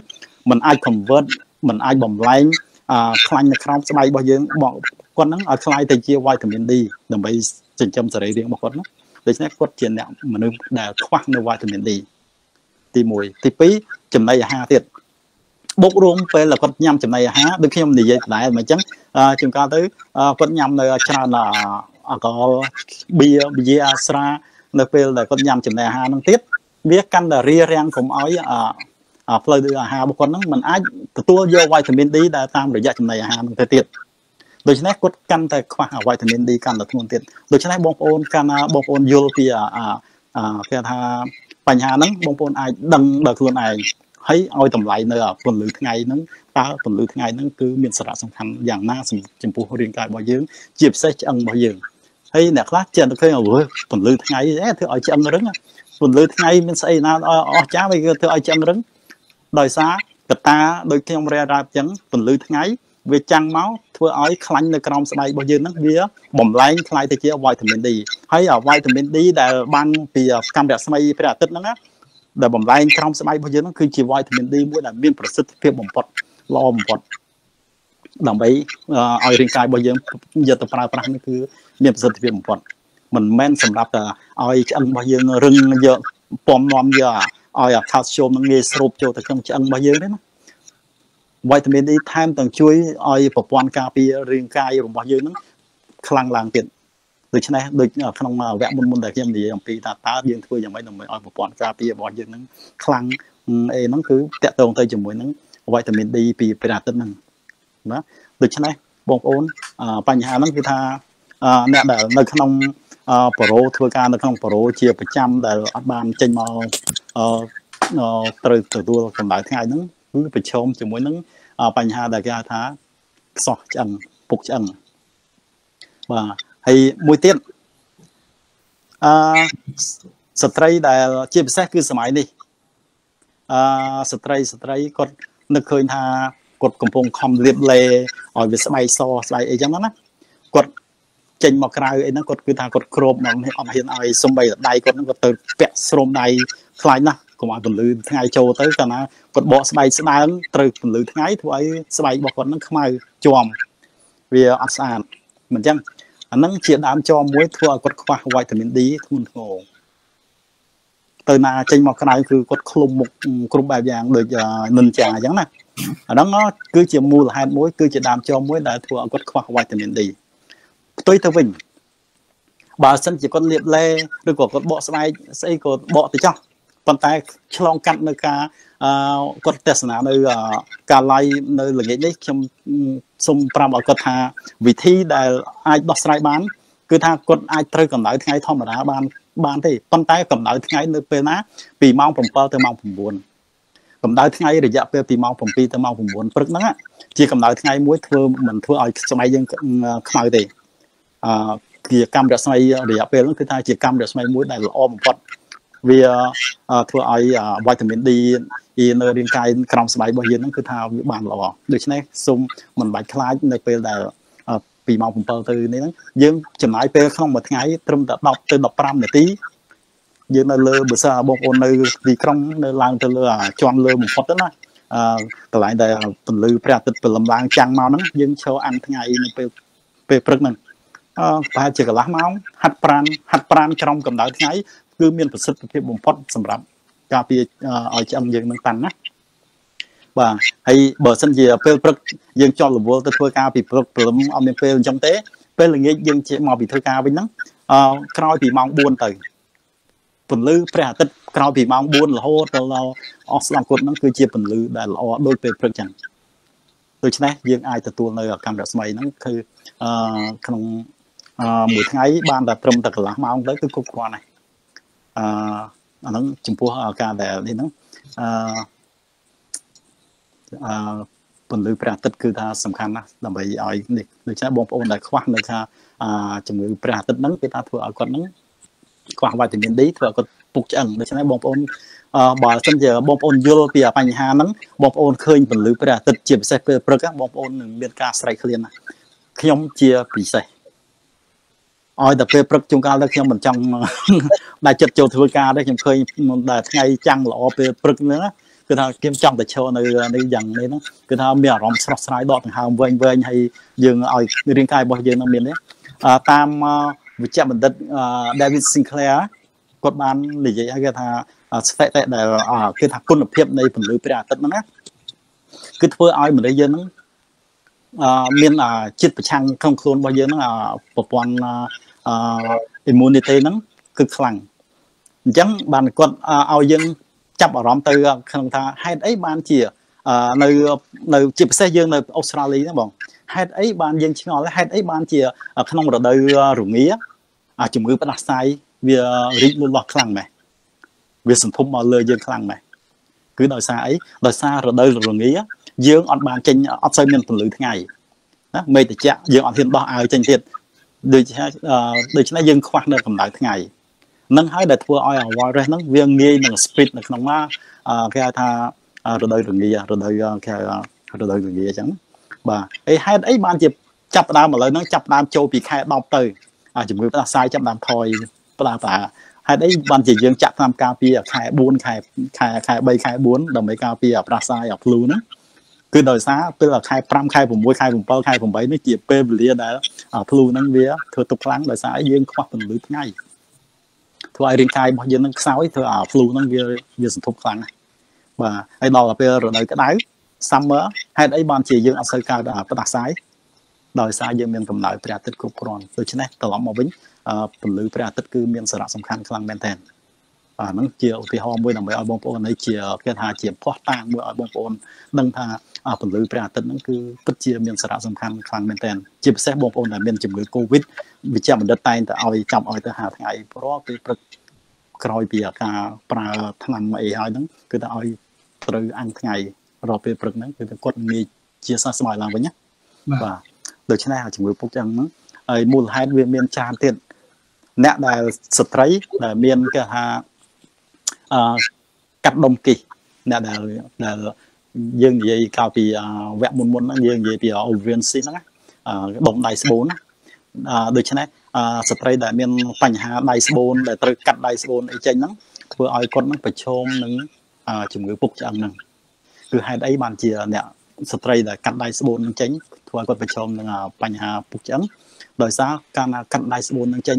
គាត់អត់មានសមត្ថភាពដើម្បីបង្កើតនៅ estrogen អុកម៉ូនគេហៅថាអុកម៉ូនបន្តពូជរបស់គាត់ហ្នឹង វាថយចុះដូច្នេះដូចខាងដើមអញ្ចឹងអ្នកដែលខ្វះនៅមានបញ្ហាប្រព័ន្ធអុកម៉ូននឹងចុះខ្សោយគាត់ធ្វើឲ្យគាត់មានបញ្ហាពុកឆ្អឹងហ្នឹងដែរគឺដោយសារអីដោយសារអុកម៉ូនគេ estrogen estrogen ហ្នឹងគឺវាអត់បានបង្កើតឡើងហ្នឹងក៏ជាមូលហេតុដែលធ្វើឲ្យគាត់ពុកឆ្អឹងដែរណាដូច្នេះហ្នឹងហើយមូលហេតុគឺវាមានអញ្ចឹងហើយជាមួយបូករួមជាមួយនឹងការញ៉ាំចំណីអាហារអ្នកដែលអឺដូចថាញ៉ាំចំណីអាហារខ្វះ ជីវជាតិជាពិសេសគឺថាអ្នកដែលតមញ៉ាំឬថាញ៉ាំសាច់អត់ហ៊ានញ៉ាំសាច់ច្រើនខ្លាយធាត់ខ្លាយអីចឹងណាដូច្នេះបញ្ហាសាច់ហ្នឹងបើសិនជាយើងខ្វះជាតិសាច់ក៏ធ្វើឲ្យយើងហ្នឹងមានបញ្ហាជំងឺពុកចឹងដែរដោយសារអីគឺសាច់ហ្នឹងមានសារៈសំខាន់ក្នុងការបង្កើតនៅ collagen ជាតិស្នែងដើម្បីយកទៅចិញ្ចឹមបង្កើតចេញជាឆ្អឹងរបស់យើងណាអ្នកខ្លះ គឺញ៉ាំគឺអាងនេះគឺខំដើម្បីសម្រក់គីឡូសម្រក់អីអត់ហ៊ានញ៉ាំជាតិសាច់ធ្វើឲ្យរាងកាយរបស់យើងសាច់កាន់តែយើងញ៉ាំចូលទៅវាបង្កើតនៅអាស៊ីតអាមីនវាជាច្រើនប្រភេទចូល20ប្រភេទនោះប៉ុន្តែ9ប្រភេទគឺថាដាច់ខាតត្រូវតែមានអាប្រភេទអាស៊ីតអាមីនដែលចេញពីជាតិសាច់ហ្នឹងសំខាន់គឺឆ្អឹងនឹងក្នុងប្រធានបទយំហ្នឹងគឺឆ្អឹងវាតកតងទៅកាលណាដែលយើងខ្វះជាតិសាច់ធ្វើឲ្យឆ្អឹងរបស់យើងហ្នឹងវាប្រឈមនឹងការពុកដែរ ខាល់ស្យូមជាតិសាច់វីតាមីន D អឺម៉ាញ៉េស្យូមផូស្ហ្វាតឡាក់នឹងឡាក់មានច្រើនណាស់អានឹងវត្ថុធាតុដើមដែលធ្វើឲ្យឆ្អឹងយើងនេះហ្នឹងណាបាទបាទអរគុណបងដូច្នេះអឺមូលហេតុហ្នឹងគឺវា មានជាច្រើនអញ្ចឹងវាមានច្រើនមូលហេតុណាហើយអូខ្ញុំភ្លេចមួយទៀតមូលហេតុអ្នកដែលធ្វើឲ្យប្រឈមនឹងបញ្ហាពុកឆ្អឹងហ្នឹង បងប្អូនណាដែលកំពុងតែប្រើគេហៅថាថ្នាំប្រភេទប៉ុកទីកូអ៊ីតអ្នកដែលប្រើថ្នាំសរសៃអឺប្រភេទកុកទីកូអ៊ីតដែលវែងគេថាជាប្រចាំអ្នកដូច្នេះពេលដែលបងប្អូនណាដែលប្រើអ្នកឈឺសន្លាក់ឬក៏អឺជំងឺផ្សេងផ្សេងរលាកផ្សេងផ្សេងដែលជាប្រចាំហ្នឹងដូច្នេះអ្នកដែលមានបញ្ហាគេថា arthritis ដែលប្រើ កុកទីកូអ៊ីតនឹងច្រើនជាប្រចាំហ្នឹងគាត់ប្រឈមនឹងបញ្ហាពុកឆ្អឹងហ្នឹងដែរហើយជាមួយនឹងអ្នកដែលមានជំងឺគេហៅជំងឺអឺឈួតជ្រូកនៅស្រុកខ្មែរយើងអ្នកដែលជំងឺអាសាបកាច់ហ្នឹងបងយាយយាយបកាច់ជ្រូកឈួតជ្រូកភាសាខ្ញុំមិនដឹងជាភាសាខ្មែរខ្ញុំមិនដឹងនិយាយយ៉ាងម៉េចទេមានណាមានភាសាហ្នឹងឈួតជ្រូកហ្នឹងមែនទេបកាច់បាទអ្នកដែលប្រើថ្នាំជំងឺឈួតជ្រូកហ្នឹងជាប្រចាំក៏ធ្វើឲ្យប្រឈមជាមួយនឹង ជំងឺពុកឆ្អឹងហ្នឹងដែរធ្វើឲ្យឆ្អឹងរបស់គាត់នឹងខ្សោះបាទអរគុណបងអាហ្នឹងនេះហើយបាទចុះចុះបើមូលហេតុផ្សេងមួយទៀតចំពោះអ្នកប្រើថ្នាំយូរឡងដូចជាទឹកនោមផ្អែមជំងឺថ្លើមហើយអ្នកដែលប្រើកាល់តើអ្នកការប្រើកាល់ស្យូមហ្នឹងអាជាតិកាល់ស្យូមដើម្បីបំពេញបន្ថែមទៅតើវាមានផលប៉ះពាល់ដែរទេបាទជួយបកស្រាយព្រោះអ្នកខ្លះមានប្រើថ្នាំទឹកនោមផ្អែមកូលេស្តេរ៉ុលអាហ្នឹងសលេបលេបមួយជីវិតណា បាទថ្លើមហ្នឹងសលេបមួយជីវិតហើយអ្នកដែលប្រើកាល់ស្យូមដើម្បីបន្ថែមឲ្យមានជាតិកាល់ស្យូមក្នុងគ្រូហ្នឹងតើវាផលប៉ះពាល់ទាំងអស់ហ្នឹងប៉ះពាល់យ៉ាងម៉េចខ្លះសូមជួយបកស្រាយបាទល្អណាស់បងសំណួរនេះគឺល្អមែនតើអឺខ្ញុំគួរចង់ភ្លេចដែរអឺបញ្ហាដែលប្រើ calcium ហ្នឹងមូលហេតុដូចខ្ញុំបានរាយរាប់អញ្ចឹងមូលហេតុដែលធ្វើឲ្យឆ្អឹងយើងពុកគឺដោយសារខ្វះខាល់ស្យូមដូច្នេះបងប្អូនខ្លះគាត់ខំទៅ ទិញខាល់ស្យូមកាច់ផឹកផងថ្នាំលេបផងខាល់ស្យូមប្រភេទខាល់ស្យូមលេបផងខាល់ស្យូមតាមពិតទៅជារឿងត្រឹមត្រូវណាស់ពេលដែលយើងខ្វះជំងឺខ្សោះឆ្អឹងពុកឆ្អឹងហ្នឹងគឺដោយសារខ្វះខាល់ស្យូមយើងត្រូវរកប្រភពដើមនៃការខ្វះខាល់ស្យូមហ្នឹងវាមកពីណាដូច្នេះយើងមិនអាចទៅប្រើខាល់ស្យូមតាមតែយើងនឹកឃើញថាអូ ខ្ញុំឮថាពេទ្យប្រាប់ថាខ្ញុំមានជំងឺពុកឆ្អឹងហើយអញ្ចឹងខ្ញុំទៅ pharmacy ទៅរកទិញខាល់ស្យូមដើម្បីលេបជាប្រចាំឲ្យវាគ្រប់ដើម្បីឲ្យឆ្អឹងខ្ញុំតាន់ឡើងវិញត្រូវមួយខុសខុស4បើនិយាយត្រូវបានតែមួយទេបំពេញខាល់ស្យូមគឺត្រឹមត្រូវមែនប៉ុន្តែខុសនឹងភាកច្រើនតែខុសហ្នឹងណាយើងចង់ប្រើបញ្ហាព្យាបាលហ្នឹងបន្តិចទៀតយើងនឹងនិយាយបញ្ហាព្យាបាលណាប៉ុន្តែខាល់ស្យូមហ្នឹងកាលណាដែលយើងប្រើច្រើនណា បើខ្វះខាល់ស្យូមក៏មានបញ្ហា បើលើសខាល់ស្យូមក៏មានបញ្ហា បើសិនជាខ្វះអាហ្នឹងធ្វើឲ្យយើងឆ្អឹងយើងស្គួតប៉ុន្តែកាលណាដែលយើងប្រើខាល់ស្យូមជាប្រចាំហើយច្រើនអត់មានគេថាមានវិជ្ជាបញ្ជាក្នុងការតាមដានជំងឺយើងហើយយើងចិត្តតែប្រើដោយខ្លួនឯងហានិភ័យគឺថាមានពីរស្ថាប័នដែលធ្វើឲ្យគ្រោះថ្នាក់ដល់រាងកាយស្ថាប័នទី1គឺថានៅនឹងក្រលៀនស្ថាប័នទី2គឺនៅថ្លើម កាលណាដែលយើងប្រើខាល់ស្យូមច្រើនជួនកាលទៅយើងខ្វះវីតាមីន D ទេយើងនឹកឃើញថាយើងខ្វះខាល់ស្យូមណាតាមពិតយើងខ្វះវីតាមីន D ទេដល់តែយើងខ្វះវីតាមីន D ធ្វើឲ្យរាងកាយរបស់យើងនោះស្រូបយកអាខាល់ស្យូមទៅតាមចំណីអាហាររបស់យើងហ្នឹងតាមពិតទៅអាខាល់ស្យូមដែលយើងញ៉ាំចំណីអាហាររាល់ថ្ងៃហ្នឹងវាសឹងគ្រប់គ្រាន់សម្រាប់ឲ្យយើងប្រើហើយប៉ុន្តែអកុសលយើងអត់មានវីតាមីន D សម្រាប់ឲ្យខាល់ស្យូមដែលមាននៅក្នុងខ្លួនយើងហ្នឹងវាអាចស្រូបទៅក្នុងឆ្អឹងយើងបាន ដូច្នេះជាមូលហេតុធ្វើឲ្យខាល់ស្យូមហ្នឹងវាត្រូវអឺចេញមកតាមផ្លូវទឹកនោមតាមផ្លូវលាមកចេញមកក្រៅវិញអាហ្នឹងជាដើមចំដែលធ្វើឲ្យយើងខ្វះខាល់ស្យូមហើយដល់តែយើងអត់ដឹងយើងខំទៅទិញខាល់ស្យូមច្រើនដល់មកដើម្បីយើងញ៉ាំដើម្បីឲ្យឆ្អឹងយើងតាន់ហ្នឹងធ្វើឲ្យខាល់ស្យូមហ្នឹងវាកាន់តែលើសនៅក្នុងរាងកាយរបស់យើងហើយពេលដែលខាល់ស្យូមលើសហ្នឹងស្ថាប័នពីរដែលខ្ញុំរាយរាប់ខាងលើហ្នឹងទី1គឺកលៀនកាលណាយើងខាល់ស្យូមអឺ កាលណាវាក្នុងខ្លួនរបស់យើងហ្នឹងប្រើអត់ប្រើប្រាស់វាត្រូវរាងកាយរបស់យើងអូតូម៉ាទិកវានឹងបញ្ចេញចេញមកក្រៅហើយហើយបញ្ចេញចេញមកក្រៅតាមណាតាមផ្លូវទឹកនោមតាមផ្លូវទឹកនោមដូច្នេះវាមកនឹងឆ្លងកាត់កលៀនខាល់ស្យូមកាលណាច្រើនពេកឆ្លងកាត់កលៀនហ្នឹងវាត្រូវកកស្ទះនៅនៅកលៀនរបស់យើងហ្នឹងធ្វើឲ្យខាល់ស្យូមចំនួនខាល់ស្យូមហ្នឹងវាពីមួយថ្ងៃទៅមួយថ្ងៃវាកកើតកាន់តែច្រើនទៅធ្វើឲ្យคล้ายទៅជាជំងឺគ្រោះតម្រងនោម គឺដោយសារអីគឺដោយសារលើសជាតិខាល់ស្យូមដូច្នេះបងប្អូនមិនគួរទៅទិញថ្នាំវីតាមីនខាល់ស្យូមហ្នឹងដើម្បីយកមកប្រើប្រាស់ដោយចិត្តឯងទេដាច់ខាតគឺបងប្អូនមិនគួរអានឹងគឺជាកម្រិតមុខ2កាលណាយើងប្រើធ្វើឲ្យប៉ះពាល់ទី1គឺទៅកលៀនហ្នឹងទី2ធ្វើឲ្យមានបញ្ហានៅក្នុងថ្លើមរបស់យើងខាល់ស្យូមកាលណាវាមានច្រើន វានឹងមកកកស្ទះនៅខាល់ស្យូមវាតែងតែវានៅក្នុងឈាមពេលដែលយើងញ៉ាំចូលទៅវានៅក្នុងឈាម ហើយក្នុងឈាមហ្នឹងដើម្បីឲ្យពីរាងកាយរបស់យើងយកពីខាល់ស្យូមក្នុងឈាមហ្នឹងយកទៅចិញ្ចឹមឆ្អឹងយើងបានលុះត្រាតែយើងមានវីតាមីន D ដើម្បីឲ្យវាឆ្អឹងយើងហ្នឹងជ្រាបចាប់យក calcium នឹងបានហើយកាលណាអត់មានវីតាមីន D ធ្វើឲ្យ calcium វាកើនច្រើននៅក្នុងឈាមរបស់យើងហ្នឹងវាទៅណាវាត្រូវឆ្លងកាត់ថ្លើមដូច្នេះវាត្រូវ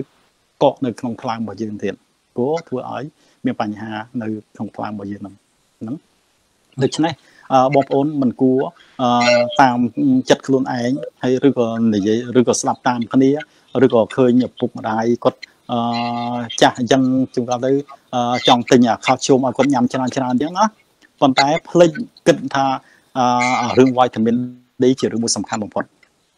ហើយវីតាមីន D ជាប្រភេទអឺខ្ញុំត្រូវបកឡើងបន្តិចកន្លែងហ្នឹងធម្មតារាងកាយរបស់យើងខាល់ស្យូមបើសិនជាយើងមនុស្សយើងធម្មតា ខាល់ស្យូមក្នុងមួយថ្ងៃតម្រូវការដែលតាមរយៈ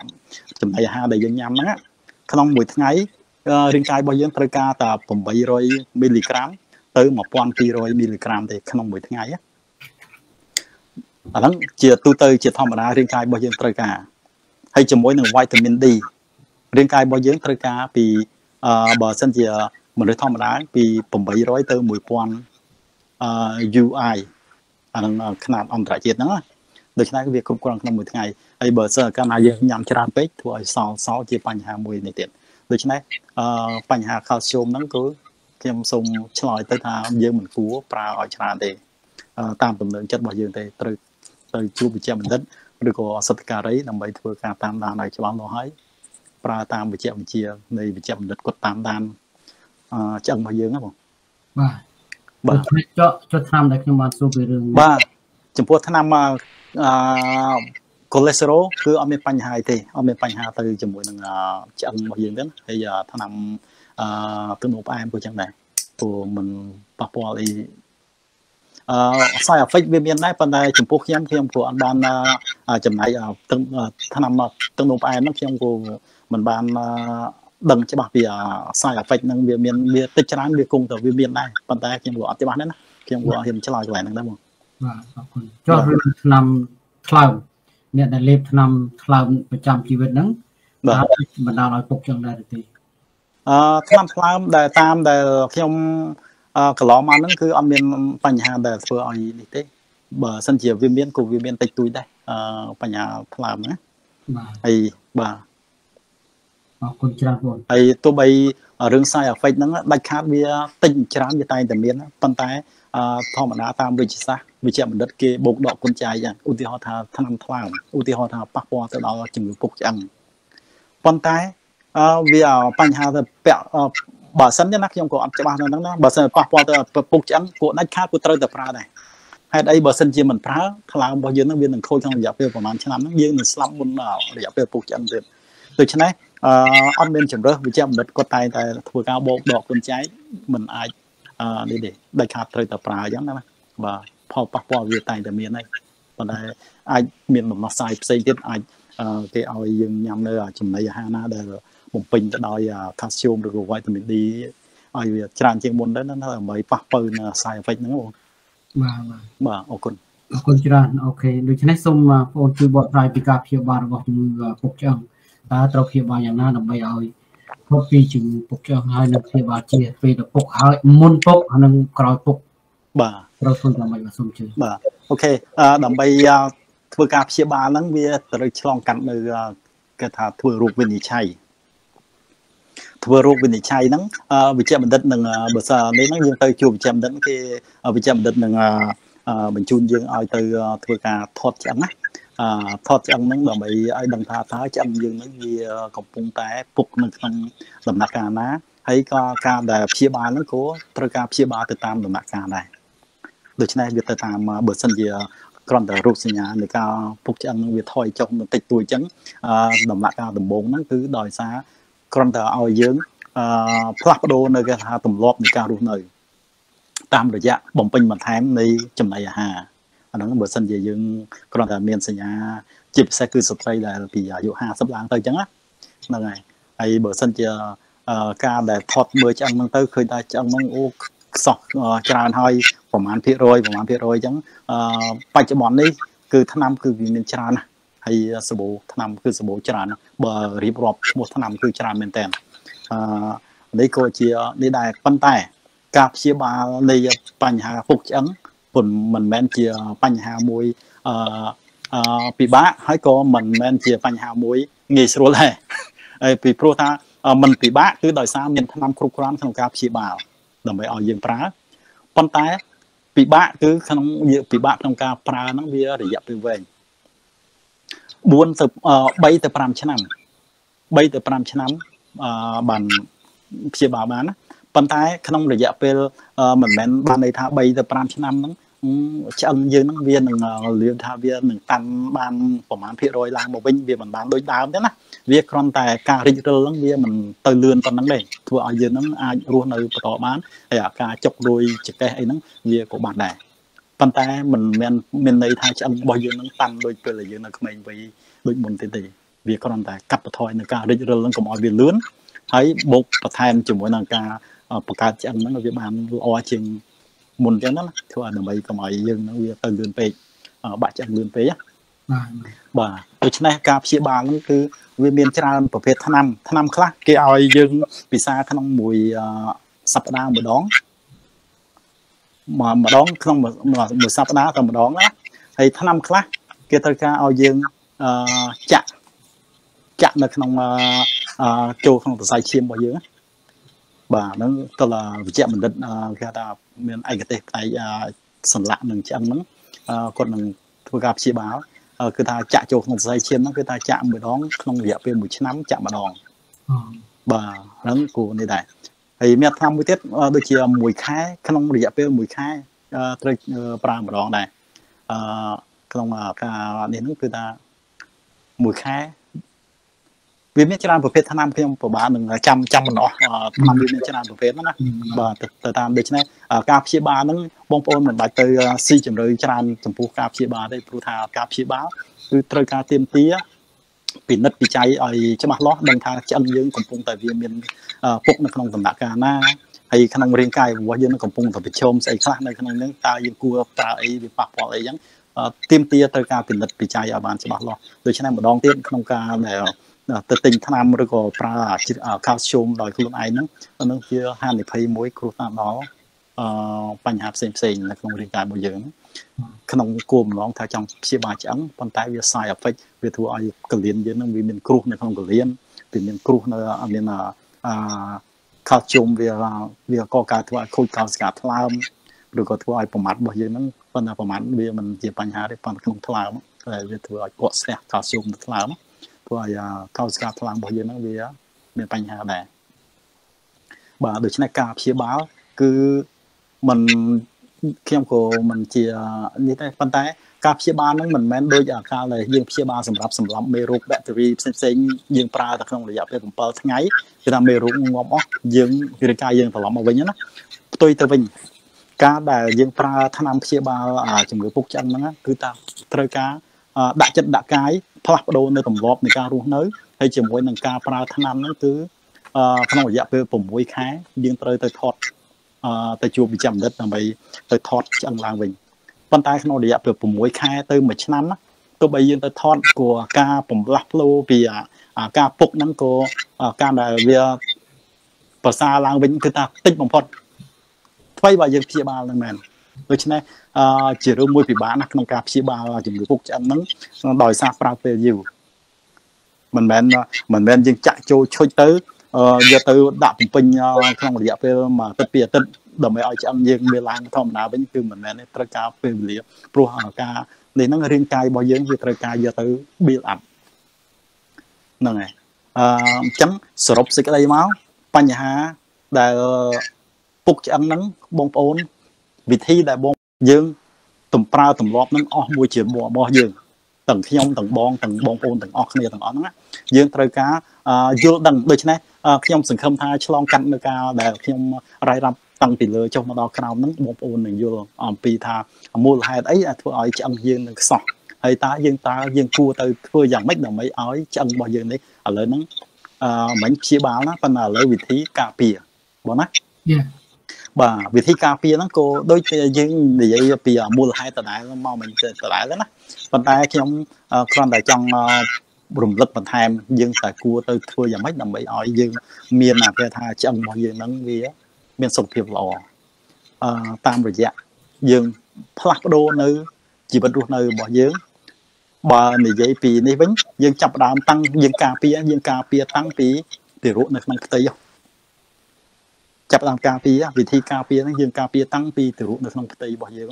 ពេលដែលម្ដាយពោពុះយើងត្រូវម្ដាយហ្នឹងត្រូវញ៉ាំនៅម្ហូបអាហារដែលសម្បូរទៅដោយជាតិខាល់ស្យូមហើយម្ដាយហ្នឹងក៏ត្រូវតែទៅហាថ្ងៃនៅពេលព្រឹកពេលល្ងាចឲ្យបានគ្រប់គ្រាន់ណាជាមួយនឹងចំណីអាហារជាពិសេសគឺចំណីអាហាររបបនៃចំណីអាហារហ្នឹងតែម្ដងម្ដាយដែលកំពុងពោពោះហ្នឹងគឺថាត្រូវប្រើនៅចំណីអាហារឲ្យបាន គ្រប់ជីវជាតិជាពិសេសគឺថាបន្លែផ្លែឈើឬក៏ម្ហូបអាហារជាពិសេសគឺគ្រឿងសមុទ្រស្រុកយើងគឺសម្បូរណាស់អឺគេហៅថាខ្ចៅខ្យងលៀសអីហ្នឹងគឺថាគឺញ៉ាំប៉ុន្តែពេលយើងមានផ្ទៃពោះអញ្ចឹងយើងគួរតែដាំឬក៏ស្រុកជិះរៀងញ៉ាំលៀសហាលៀសអីហ្នឹងវាមេរោគវាមិនតន់ជានេះណាប៉ុន្តែលៀសស្រុកឬក៏លៀសឆាឬក៏គ្រឿងដែលមានស្អក ដែលមានស្បកទាំងអស់ហ្នឹងខ្ចៅខ្យងគ្រុំលះជាពិសេសគឺកពឹសកពឹសដែលតូចតូចនៅស្រុកយើងហ្នឹងគឺឆ្ងាញ់ហើយគឺសម្បូរដោយជាតិខាល់ស្យូមអញ្ចឹងបងប្អូនដែលមានផ្ទៃពោះគួរតែញ៉ាំចំណីអាហារអស់ហ្នឹងឲ្យបានច្រើនបូករួមជាមួយនឹងវីតាមីន D វីតាមីន D តាមពិតទៅយើងនៅស្រុកយើងហ្នឹងគឺថាយើងមិនបាច់ទៅប្រើទៅដល់គ្រាប់ថ្នាំវីតាមីន D ហ្នឹងផងយើង ឲ្យតែយល់ពីអ្វីដែលខ្ញុំនិយាយហ្នឹងគឺយើងត្រូវ50ថ្ងៃហើយ50ថ្ងៃហ្នឹងគឺថាក្នុងមួយថ្ងៃហ្នឹងយើងចំណាយពី15ទៅ20ឬក៏30នាទីពីម៉ោង7ទៅម៉ោង9ហ្នឹងក្នុងប្រឡោះម៉ោងហ្នឹងគឺគ្រប់គ្រាន់នៅក្នុងថ្ងៃហ្នឹងគឺរាងកាយរបស់យើងហ្នឹងគឺវានឹងបង្កើតវីតាមីន D ដ៏ល្អបំផុតមានប្រសិទ្ធភាពបំផុតហ្នឹងហើយអឺវាចំណីអាហារដែលយើងញ៉ាំចូលទៅហ្នឹងវាស្រូបយកវីតាមីន D ឬក៏ calcium ហ្នឹងវា អឺវាបានដែរប៉ុន្តែវាមិនស្មើនឹងអឺពន្លឺថ្ងៃណាដូច្នេះក្នុងផ្ទៃពោះយើងត្រូវតែការពារទារកយើងតាំងពីនៅក្នុងផ្ទៃពោះរហូតទៅដល់ទារកកើតចេញមកយើងត្រូវតែឲ្យទារកហ្នឹងបើដោះម្ដាយហ្នឹងយ៉ាងតិចបំផុតគឺពី4ទៅ6ខែហ្នឹងតាមវិទ្យាសាស្ត្រដែលគេតែងតែណែនាំលើកទឹកចិត្តម្ដាយហ្នឹងគឺដើម្បីអី គឺដើម្បីឲ្យពេលទារកនឹងផឹកបើទឹកដោះម្ដាយហ្នឹងគឺពោពេញទៅដោយ calcium ធម្មជាតិពីម្ដាយហ្នឹងធ្វើឲ្យឆ្អឹងរបស់កូនហ្នឹងបន្តនៅរីកលូតលាស់បានល្អទី1ទី2ប្រព័ន្ធការពាររបស់សរីរាង្គកុមារហ្នឹងវាអត់សូវជួបប្រទះនឹងការឈឺឈឺច្រើនទេដូច្នេះបងប្អូនចាប់អារម្មណ៍បើសិនជាអឺបងប្អូនណាដែលឲ្យបំបើដោះកូនយើងហ្នឹងពីបានយ៉ាងតូចក៏6 4ទៅ6ខែហ្នឹងណា យើងចាប់អារម្មណ៍មើលកូនយើងពេលអត់បន្តិចទៀតវាអត់សូវឈឺប្រហែលទេប៉ុន្តែបើសិនជាកើតងាមកហើយចាប់ដើមម្ដាយឲ្យបើគេទឹកដោះគូនេះសបនិមិត្តដែលគេគេធ្វើទឹកដោះគូម្សៅទឹកដោះគូអីហ្នឹងខ្ញុំទទួលស្គាល់ក្នុងទឹកដោះគូហ្នឹងគេមានបំពេញបន្ថែមនៅអាសារជាតិទាំងអស់ហ្នឹងមែនប៉ុន្តែនៅតែមិនល្អដូចទឹកដោះគូដោះរបស់ម្ដាយទេការដែលវាជ្រាបចូលក្នុងរាងកាយរបស់ទារកហ្នឹងក៏អត់បានដូចម្ដាយវាទឹកដោះម្ដាយទេដូច្នេះ អឺមានបញ្ហាដែលយើងនិយាយបញ្ហាក្រិនឆ្អឹងមុននឹងបន្តិចហ្នឹងក៏ដោយសារក្នុងចំណីអាហារវាពេលកូនទៅចាប់ដើមចេះញ៉ាំចំណីអាហារហ្នឹងបងប្អូនត្រូវចាំចេះ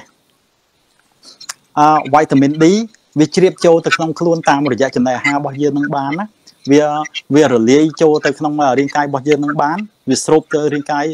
រាងកាយរបស់យើងស្រូបយកវីតាមីន D បាន វាដោយសារមានខ្លាញ់មានជាតិខ្លាញ់ បានរាងកាយរបស់យើងអាចស្រូបយកវីតាមីន D ចូលទៅបានដូច្នេះហ่ะបើសិនជាបងប្អូនមានកូនដែលទៅចាប់តាមចេះញ៉ាំចំណីអាហារអីចឹងបងប្អូនគួរតែធ្វើនៅចំណីអាហារដែលឲ្យក្មេងហ្នឹងយើងល្អបំផុតយើងគួរតែធ្វើចំណីអាហារហើយយើង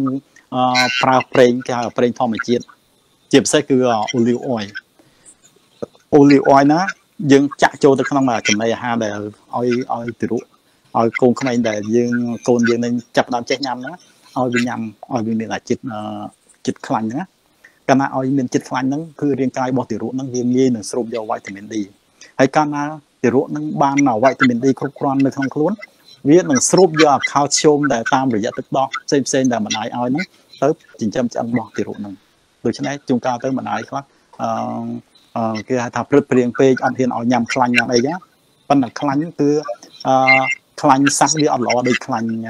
ធម្មជាតិទេមានប្រេងផ្កាជរ័នប្រេងពោតប្រេងអីហ្នឹងអាហ្នឹងវាងាយនឹងនេះធ្វើឲ្យវីតាមីន D វាងាយស្រូបចូលទៅក្នុងខ្លួនយើងបានបាទហើយពេលវីតាមីន D ចូលទៅក្នុងខ្លួនយើងបានធ្វើឲ្យវីតាមីន D ហ្នឹងវាវាមានទួនាទីវាស្រូបយក calcium ហ្នឹងយកមកចិញ្ចឹមឆ្អឹងរបស់ទារកហ្នឹងដូច្នេះបងប្អូនយល់ណាការប្រើប្រាស់ខ្លាញ់ហ្នឹងគឺមានសារៈសំខាន់ណាស់សំបីតែយើងជាមនុស្សចាស់ក៏ចឹងដែរ អឺខ្លាញ់ជួនកាលទៅយើងខំតមខ្លាញ់តមអីខ្ញុំទទួលស្គាល់កាលណាតមខ្លាញ់ខ្លាញ់សัตว์ក៏តមទៅចោះប៉ុន្តែរាងកាយរបស់យើងត្រូវចាំថារាងកាយរបស់យើងមិនអាចខ្វះខ្លាញ់បានទេត្រូវការខ្លាញ់ណាបើមិនជាយើងតមខ្លាញ់ពេកនឹងរាងកាយរបស់យើងនឹងមានបញ្ហាស្រូបយកវីតាមីន D អត់បានគ្រប់គ្រាន់ធ្វើឲ្យអុកម៉ូនក្នុងរាងកាយរបស់យើងហ្នឹងគឺវា error អុកម៉ូនរបស់យើងហ្នឹងវាដំណើរការបាន គឺដោយសារយើងមានអឺ lipid ហ្នឹងមានខ្លាញ់ហ្នឹងដូច្នេះបើសិនជាយើងខ្វះខ្លាញ់ក៏អត់ល្អដែរហើយបើសិនជាល្អបំផុតយើងគួរតែប្រើខ្លាញ់អូលីវហ្នឹងដាក់នៅក្នុងសាឡាត់ឬក៏ក្នុងចំណីអាហាររបស់យើងមនុស្សចាស់យើងណាបាទដូច្នេះតាមវិធីការពារហ្នឹងគឺអញ្ចឹងបាទបាទអរគុណហើយមួយទៀតសណ្ដែកទឹកសណ្ដែកបងទឹកសណ្ដែក បើចំណីអាហារដើម្បីយើងការពារកុំឲ្យយើងដើម្បីជួយឲ្យអាជំងឺពុកបញ្ហាពុកឆ្អឹងនេះហ្នឹងទឹកសណ្ដែកហ្នឹងគោវាអាចជួយឲ្យរាងកាយរបស់យើងហ្នឹងស្រូបយកនៅបង្កើននៅទឹកសណ្ដែកហ្នឹងធ្វើឲ្យកពេញអុកម៉ូនរបស់មនុស្សស្រីដៃស្បូនវាជួយនៅ estrogen បានច្រើនបើមនុស្សប្រុស estrogen ដូច្នេះអាទឹកសណ្ដែកទឹកសណ្ដែកអាទឹកសណ្ដែកយើងបងគេដាក់ធ្វើលក់ហ្នឹង ប៉ុន្តែយើងកុំញ៉ាំច្រើនពេកអឺទឹកសណ្ដែកហ្នឹងគឺវាល្អបើក្នុងមួយថ្ងៃមួយកែវអីទេគឺល្អមែនតើគឺថាដល់ហ្នឹងដើម្បីឲ្យអឺគឺថាអុកម៉ូនរបស់មនុស្សស្រីហ្នឹងគឺថាវាបង្កើតអុកម៉ូនហ្នឹងអេស្ត្រូសែនហ្នឹងបានល្អអញ្ចឹងទៅធ្វើឲ្យជួយឲ្យឆ្អឹងរបស់គាត់ហ្នឹងក៏កាត់បន្ថយនៅការពុកឆ្អឹងហ្នឹងដែរប៉ុន្តែអ្នកដែលមានបញ្ហាគេថាដុំគិះដៃស្បូនអីអីហ្នឹងកំពុងតែមានដុំដៃស្បូនគួរ គុំពិសាទឹកសណ្ដែកនឹងច្រើនដែរគួរធ្វើឲ្យគិះដៃស្បូនហ្នឹងវាងាយនឹងរីកច្រើនណាស់ព្រោះវាសម្បូរទៅដោយប្រូតេអ៊ីនអាជាតិសាច់ទឹកសណ្ដែកបងគ្រប់ប្រភេទសណ្ដែកវាសម្បូរទៅដោយប្រូតេអ៊ីនដូច្នេះអាប្រូតេអ៊ីនហ្នឹងធ្វើឲ្យអាដុំគិះហ្នឹងវាវាវារីកធំលឿនណាអញ្ចឹងពួកគេនេះដែរប៉ុន្តែចំពោះយើងធម្មតាស្ត្រីធម្មតាមួយថ្ងៃមួយកែវគឺល្អហើយអត់អីហ្នឹងហ្នឹងហើយ ហើយជាមួយនឹងញ៉ាំជាតិសាច់ឲ្យបានគ្រប់គ្រាន់ជាតិសាច់ឲ្យបានគ្រប់គ្រាន់បាទអរគុណអឺអ្វីដែលខ្ញុំបកស្រាយនឹងខ្ញុំចង់ឲ្យបងប្អូនយល់ពីដើមហេតុដើមផលកាលណាយល់ពីដើមហេតុដើមផលដូច្នេះវាជាប់ជាមួយនឹងគ្រូក្បាលរបស់យើងយើងចេះថែរក្សាសុខភាពយើងដោយអូតូម៉ាទិកអឺនឹងហើយដែលចិត្តខ្ញុំខ្ញុំនឹកឃើញថាគួរឲ្យអាណិតបងប្អូនដែល ខ្វះការយល់ដឹងជួនកាលទៅគាត់មានប្រភពគេថាប្រភពដើម្បីការពារដើម្បីបំពន់នៅសរីរាង្គគ្រប់បែបយ៉ាងទាំងអស់ដោយមិនបាច់ប្រើថ្នាំថ្នាំពេទ្យទេគឺដោយសារគ្រាន់តែយើងបំលែងពីការយល់ដឹងពីការរស់នៅជីវិតរស់នៅរបស់យើងហ្នឹងធ្វើឲ្យជីវិតរបស់យើងហ្នឹងគឺថារស់នៅដោយពូពេញទៅដោយផាសុខភាពអញ្ចឹងក្នុងឆ្លងកាត់ក្នុងការនិយាយក្នុងរាត្រីនេះខ្ញុំសង្ឃឹមថាបងប្អូននឹង បង្កើននៅចំណេះដឹងបានច្រើនហើយមិនធ្ងន់ខ្លួនទេហើយអានេះគឺជាការមួយដើម្បីយើងផ្លាស់ប្ដូរទម្លាប់នៃការរស់នៅរបស់យើងអឺដើម្បីសំខាន់ណាស់បញ្ហាឆ្អឹងហ្នឹងគឺជាពិសេសខ្ញុំសូមឧទ្ទិសអឺម្ដងទៀតក្នុងคลิปយប់នេះខ្ញុំចង់ផ្ញើទៅអ៊ំអ៊ំចាស់ចាស់ដែលគាត់មានអាយុពី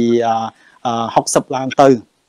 ណាខ្ញុំសូមផ្ដាំផ្ញើទៅអ៊ំអ៊ំទាំងអស់ជាទីស្រឡាញ់អ៊ំប្រុសអ៊ំស្រីជាពិសេសគឺអ៊ំស្រីស្រីនឹងតែម្ដង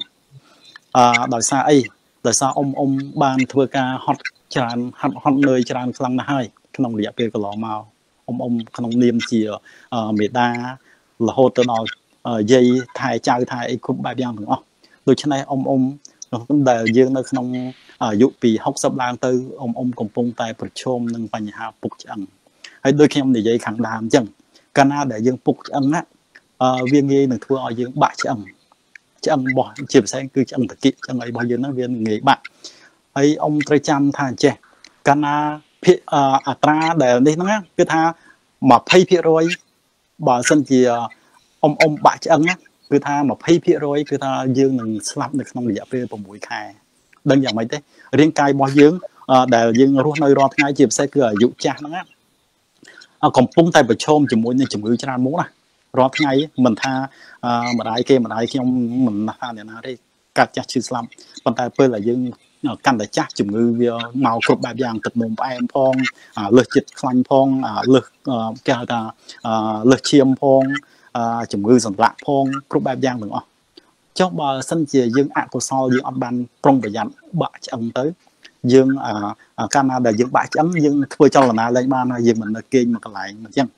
សំបីតែបត់ដៃបត់ជើងក៏យើងបត់ដៃបត់ជើងដោយពិបាកលើកគិតទៅបើសិនយើងបាក់ឆ្អឹងតាគីហើយយើងទៅបត់យើងងើបទៅបត់ដៃបត់ជើងបានទេគឺអត់បានទេនៅគឺនឹងបត់ដៃបត់ជើងនៅនឹងកន្លែងអានឹងហើយដែលជាមូលហេតុដែលធ្វើឲ្យពួកគាត់នឹងស្លាប់នៅក្នុងរយៈពេល6ខែហ្នឹងអត្រាទៅដល់20%គាត់ស្លាប់បើសិនជា អកុសលគាត់អត់មានកូនចៅឬក៏កូនចៅគាត់មើលថែគាត់អត់បានដិតដល់គាត់នឹងទៅលឿនជាងទៀតហើយជំងឺផ្សេងផ្សេងវានឹងសន្ទប់ចូលមករាងកាយរបស់គាត់ធ្វើឲ្យគាត់ស្លាប់កាន់តែលឿនដូច្នេះក្នុងនាមខ្ញុំជាមហាគ្រួសារជាមួយបង SK លោកអសិទ្ធការីខ្ញុំសូមម្ដងហើយម្ដងទៀតសូមអំពាវនាវទៅបងប្អូនដែលជាកូនឬក៏ជាចៅ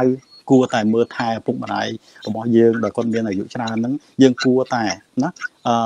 លបួងគាត់បើសិនជាគាត់ប្រកែកមិនព្រមទៅពិនិត្យសុខភាពអីចឹងណាយើងគួរតែយកចំណេះដឹងក្នុងរយៈដែលស្ដាប់នៅក្នុងការ live នេះយើងទៅនិយាយឲ្យផ្អែមជាមួយគាត់ដើម្បីលើកហេតុផលឲ្យគាត់យល់ច្បាស់ពីបញ្ហាហ្នឹងបបួលគាត់ដើម្បីគាត់ទៅធ្វើពិនិត្យសុខភាពរបស់គាត់ទៅថតឆ្អឹងមើលគាត់មកឆ្អឹងគាត់នឹងនៅកំណត់ការណាបើសិនជាកំពុងតែហានិភ័យខ្ពស់ហើយអញ្ចឹងយើងគួរតែទៅជួបវិជ្ជបណ្ឌិតដើម្បីទិញ ឲ្យវិជ្ជបណ្ឌិតចេញវិជ្ជវិទ្យាទិញថ្នាំដើម្បីព្យាបាលឆ្អឹងរបស់គាត់ដើម្បីឲ្យជាងនឹងទៅទៀតធ្វើឲ្យគាត់មានការប្រុងប្រយ័ត្នកាលណាដែលយើងដឹងថាយើងកំពុងមានបញ្ហាពុកឆ្អឹងពេលណាក៏យើងមានការប្រុងប្រយ័ត្នដូច្នេះវាងាយស្រួលនឹងជៀសវាងបានបញ្ហាគ្រោះថ្នាក់ដោយបាក់ឆ្អឹងហ្នឹងបាទហើយមួយទៀតអ៊ំអ៊ំគាត់តែងតែធម្មតាមនុស្សចាស់ទាំងគេទាំងខ្ញុំខ្ញុំមិនទាន់ចាស់ប្រហែលផងប៉ុន្តែខ្ញុំមើលទៅក្មេងៗក្រោមខ្ញុំហ្នឹងខ្ញុំវាទើស ឃើញការធ្វើការងារឬក៏អីអីហ្នឹងវាទើសវាមិនបានដូចចិត្តយើងខ្ញុំទទួលស្គាល់អ៊ំអ៊ំចាស់ចាស់អឺទាំងគេទាំងខ្ញុំដូចគ្នាអញ្ចឹងគឺមានចិត្តទៅហ่ะជុំកាលលើអើយធ្វើខ្លួនឯងស្គាល់ជាងអញ្ចឹងណាក៏ឃើញរបស់អីអញ្ចឹងអូទៅអញលើកម្នាក់ឯងអីអញ្ចឹងណាទៅយកមកណោហើយមកទុកនៅនឹងពឹងពួកវាវាយូរពេកអីអញ្ចឹងណាគាត់ទៅលើកមកលើកមកធ្វើឲ្យគាត់បាក់ឆ្អឹងបាក់អីនៅពេលហ្នឹងអាហ្នឹងដែលជាដើមចមមួយធ្វើឲ្យគ្រោះថ្នាក់ ហើយបើសិនជាបងប្អូនក្នុងនាមជាកូនជាចៅគេយើងថាក្នុងនាមយើងចង់ធ្វើជាចៅឬក៏ជាកូនដែលមានកតញ្ញូចំពោះឪពុកម្ដាយខ្ញុំគួរលើកទឹកចិត្តបងប្អូនគួរតែមើលថែឪពុកម្ដាយយើងឲ្យបានដិតដល់ជាងនឹងតិចព្រោះថាពេលអានេះបញ្ហានេះបើសិនជាគាត់មានបញ្ហាគឺវាបន្ទុកគួរមកលើយើងជាកូនជាចៅដែរយើងមិនអាចមើលនឹងផ្នែកបានទេមែនទេហើយទីគាត់នឹងក៏ពិបាកនឹងក្នុងការនេះដែរ ជួនកាលលើការងាររបស់យើងក៏ជាប់ពមៀញឹកដូច្នេះការពារប្រសើរជាងព្យាបាលណាហ្នឹងហើយហើយជាពិសេសគឺរបស់របរឬក៏ជូតអិតជូតអីហ្នឹងបងប្អូនដែលនៅផ្ទះជាមួយគ្នាជាមួយអ៊ំអ៊ំចាស់ចាស់ហ្នឹងយើងគួរតែដាក់របស់របរអីឲ្យមានសម្ដាប់ធ្នាប់រៀបរយកុំដាក់ជួនកាលទៅគាត់អត់បានផ្នែកគាត់គូខ្សោយទៀតគាត់ដើរតាក់ជើងតាក់អីគាត់ដួលទៅធ្វើឲ្យគាត់បាក់ឆ្អឹងរបស់គាត់នោះ អាហ្នឹងគឺគឺជាដើមចមមួយដែលធ្វើឲ្យគាត់នឹងមានបញ្ហាហើយគ្រួសារទាំងមូលគឺមានបញ្ហាទាំងអស់គ្នាហ្នឹងដូច្នេះអឺម្ដងទៀតគួរតែអឺអ៊ំអ៊ំខ្លួនឯងគួរតែប្រយ័ត្នប្រយែងឲ្យមែនតែនក្នុងការដើរឬក៏ឡើងចដាចុះចដាឬក៏ដើរចេញមកក្រៅអីចឹងប្រយ័ត្នប្រយែងភ្នែកអត់សូវភ្លឺយើងងាយនឹងតាក់ដៃកាក់ជើងណាដួលបាទងាយគ្រោះថ្នាក់ដូច្នេះខ្ញុំសង្ឃឹមថា ក្រោយពីស្ដាប់នៅការ live នេះបងប្អូនអ៊ំអ៊ំគួរតែធ្វើការប្រុងប្រយ័ត្នឲ្យមែនតែនហើយតាមរយៈចំណីអាហារហើយពេលល្ងាចល្ងាចឬក៏ព្រឹកហ្នឹងមកហាលថ្ងៃជាប្រចាំទៅហាត់ប្រាណជាប្រចាំហាត់ប្រាណអ៊ំអ៊ំគឺយើងអាចកាត់បន្ថយនៅជំងឺគ្រប់បែបយ៉ាងទាំងអស់ជាពិសេសគឺជំងឺពុកឆ្អឹងហ្នឹងកាលណាយើងហាត់ប្រាណទៅធ្វើឲ្យអាសាច់ដុំរបស់យើងហ្នឹងវាខ្លាំងសាច់ដុំវាខ្លាំងវាអត់ស្វិតណាកាលណាសាច់ដុំខ្លាំងទៅឆ្អឹងរបស់យើងក្រងឆ្អឹងវាតូចទេ វាវារឹងមាំបានគឺដោយសារសាច់ដុំរបស់យើងហ្នឹងកាលណាដែលយើងហាត់ប្រាណទៅតាមដែលវ័យរបស់យើងណាកុំហាត់ប្រាណឲ្យវាហួសកម្លាំងយើងពេកហាត់ទៅដើម្បីឲ្យសាច់ដុំយើងរឹងមាំទៅវាអាចជួយជ្រែងនៅសាច់ដុំឆ្អឹងរបស់យើងហ្នឹងធ្វើឲ្យឆ្អឹងរបស់យើងហ្នឹងវាមិនងាយប្រឈមនឹងការបាក់នឹងដែរបាទសូមអរគុណបងមាន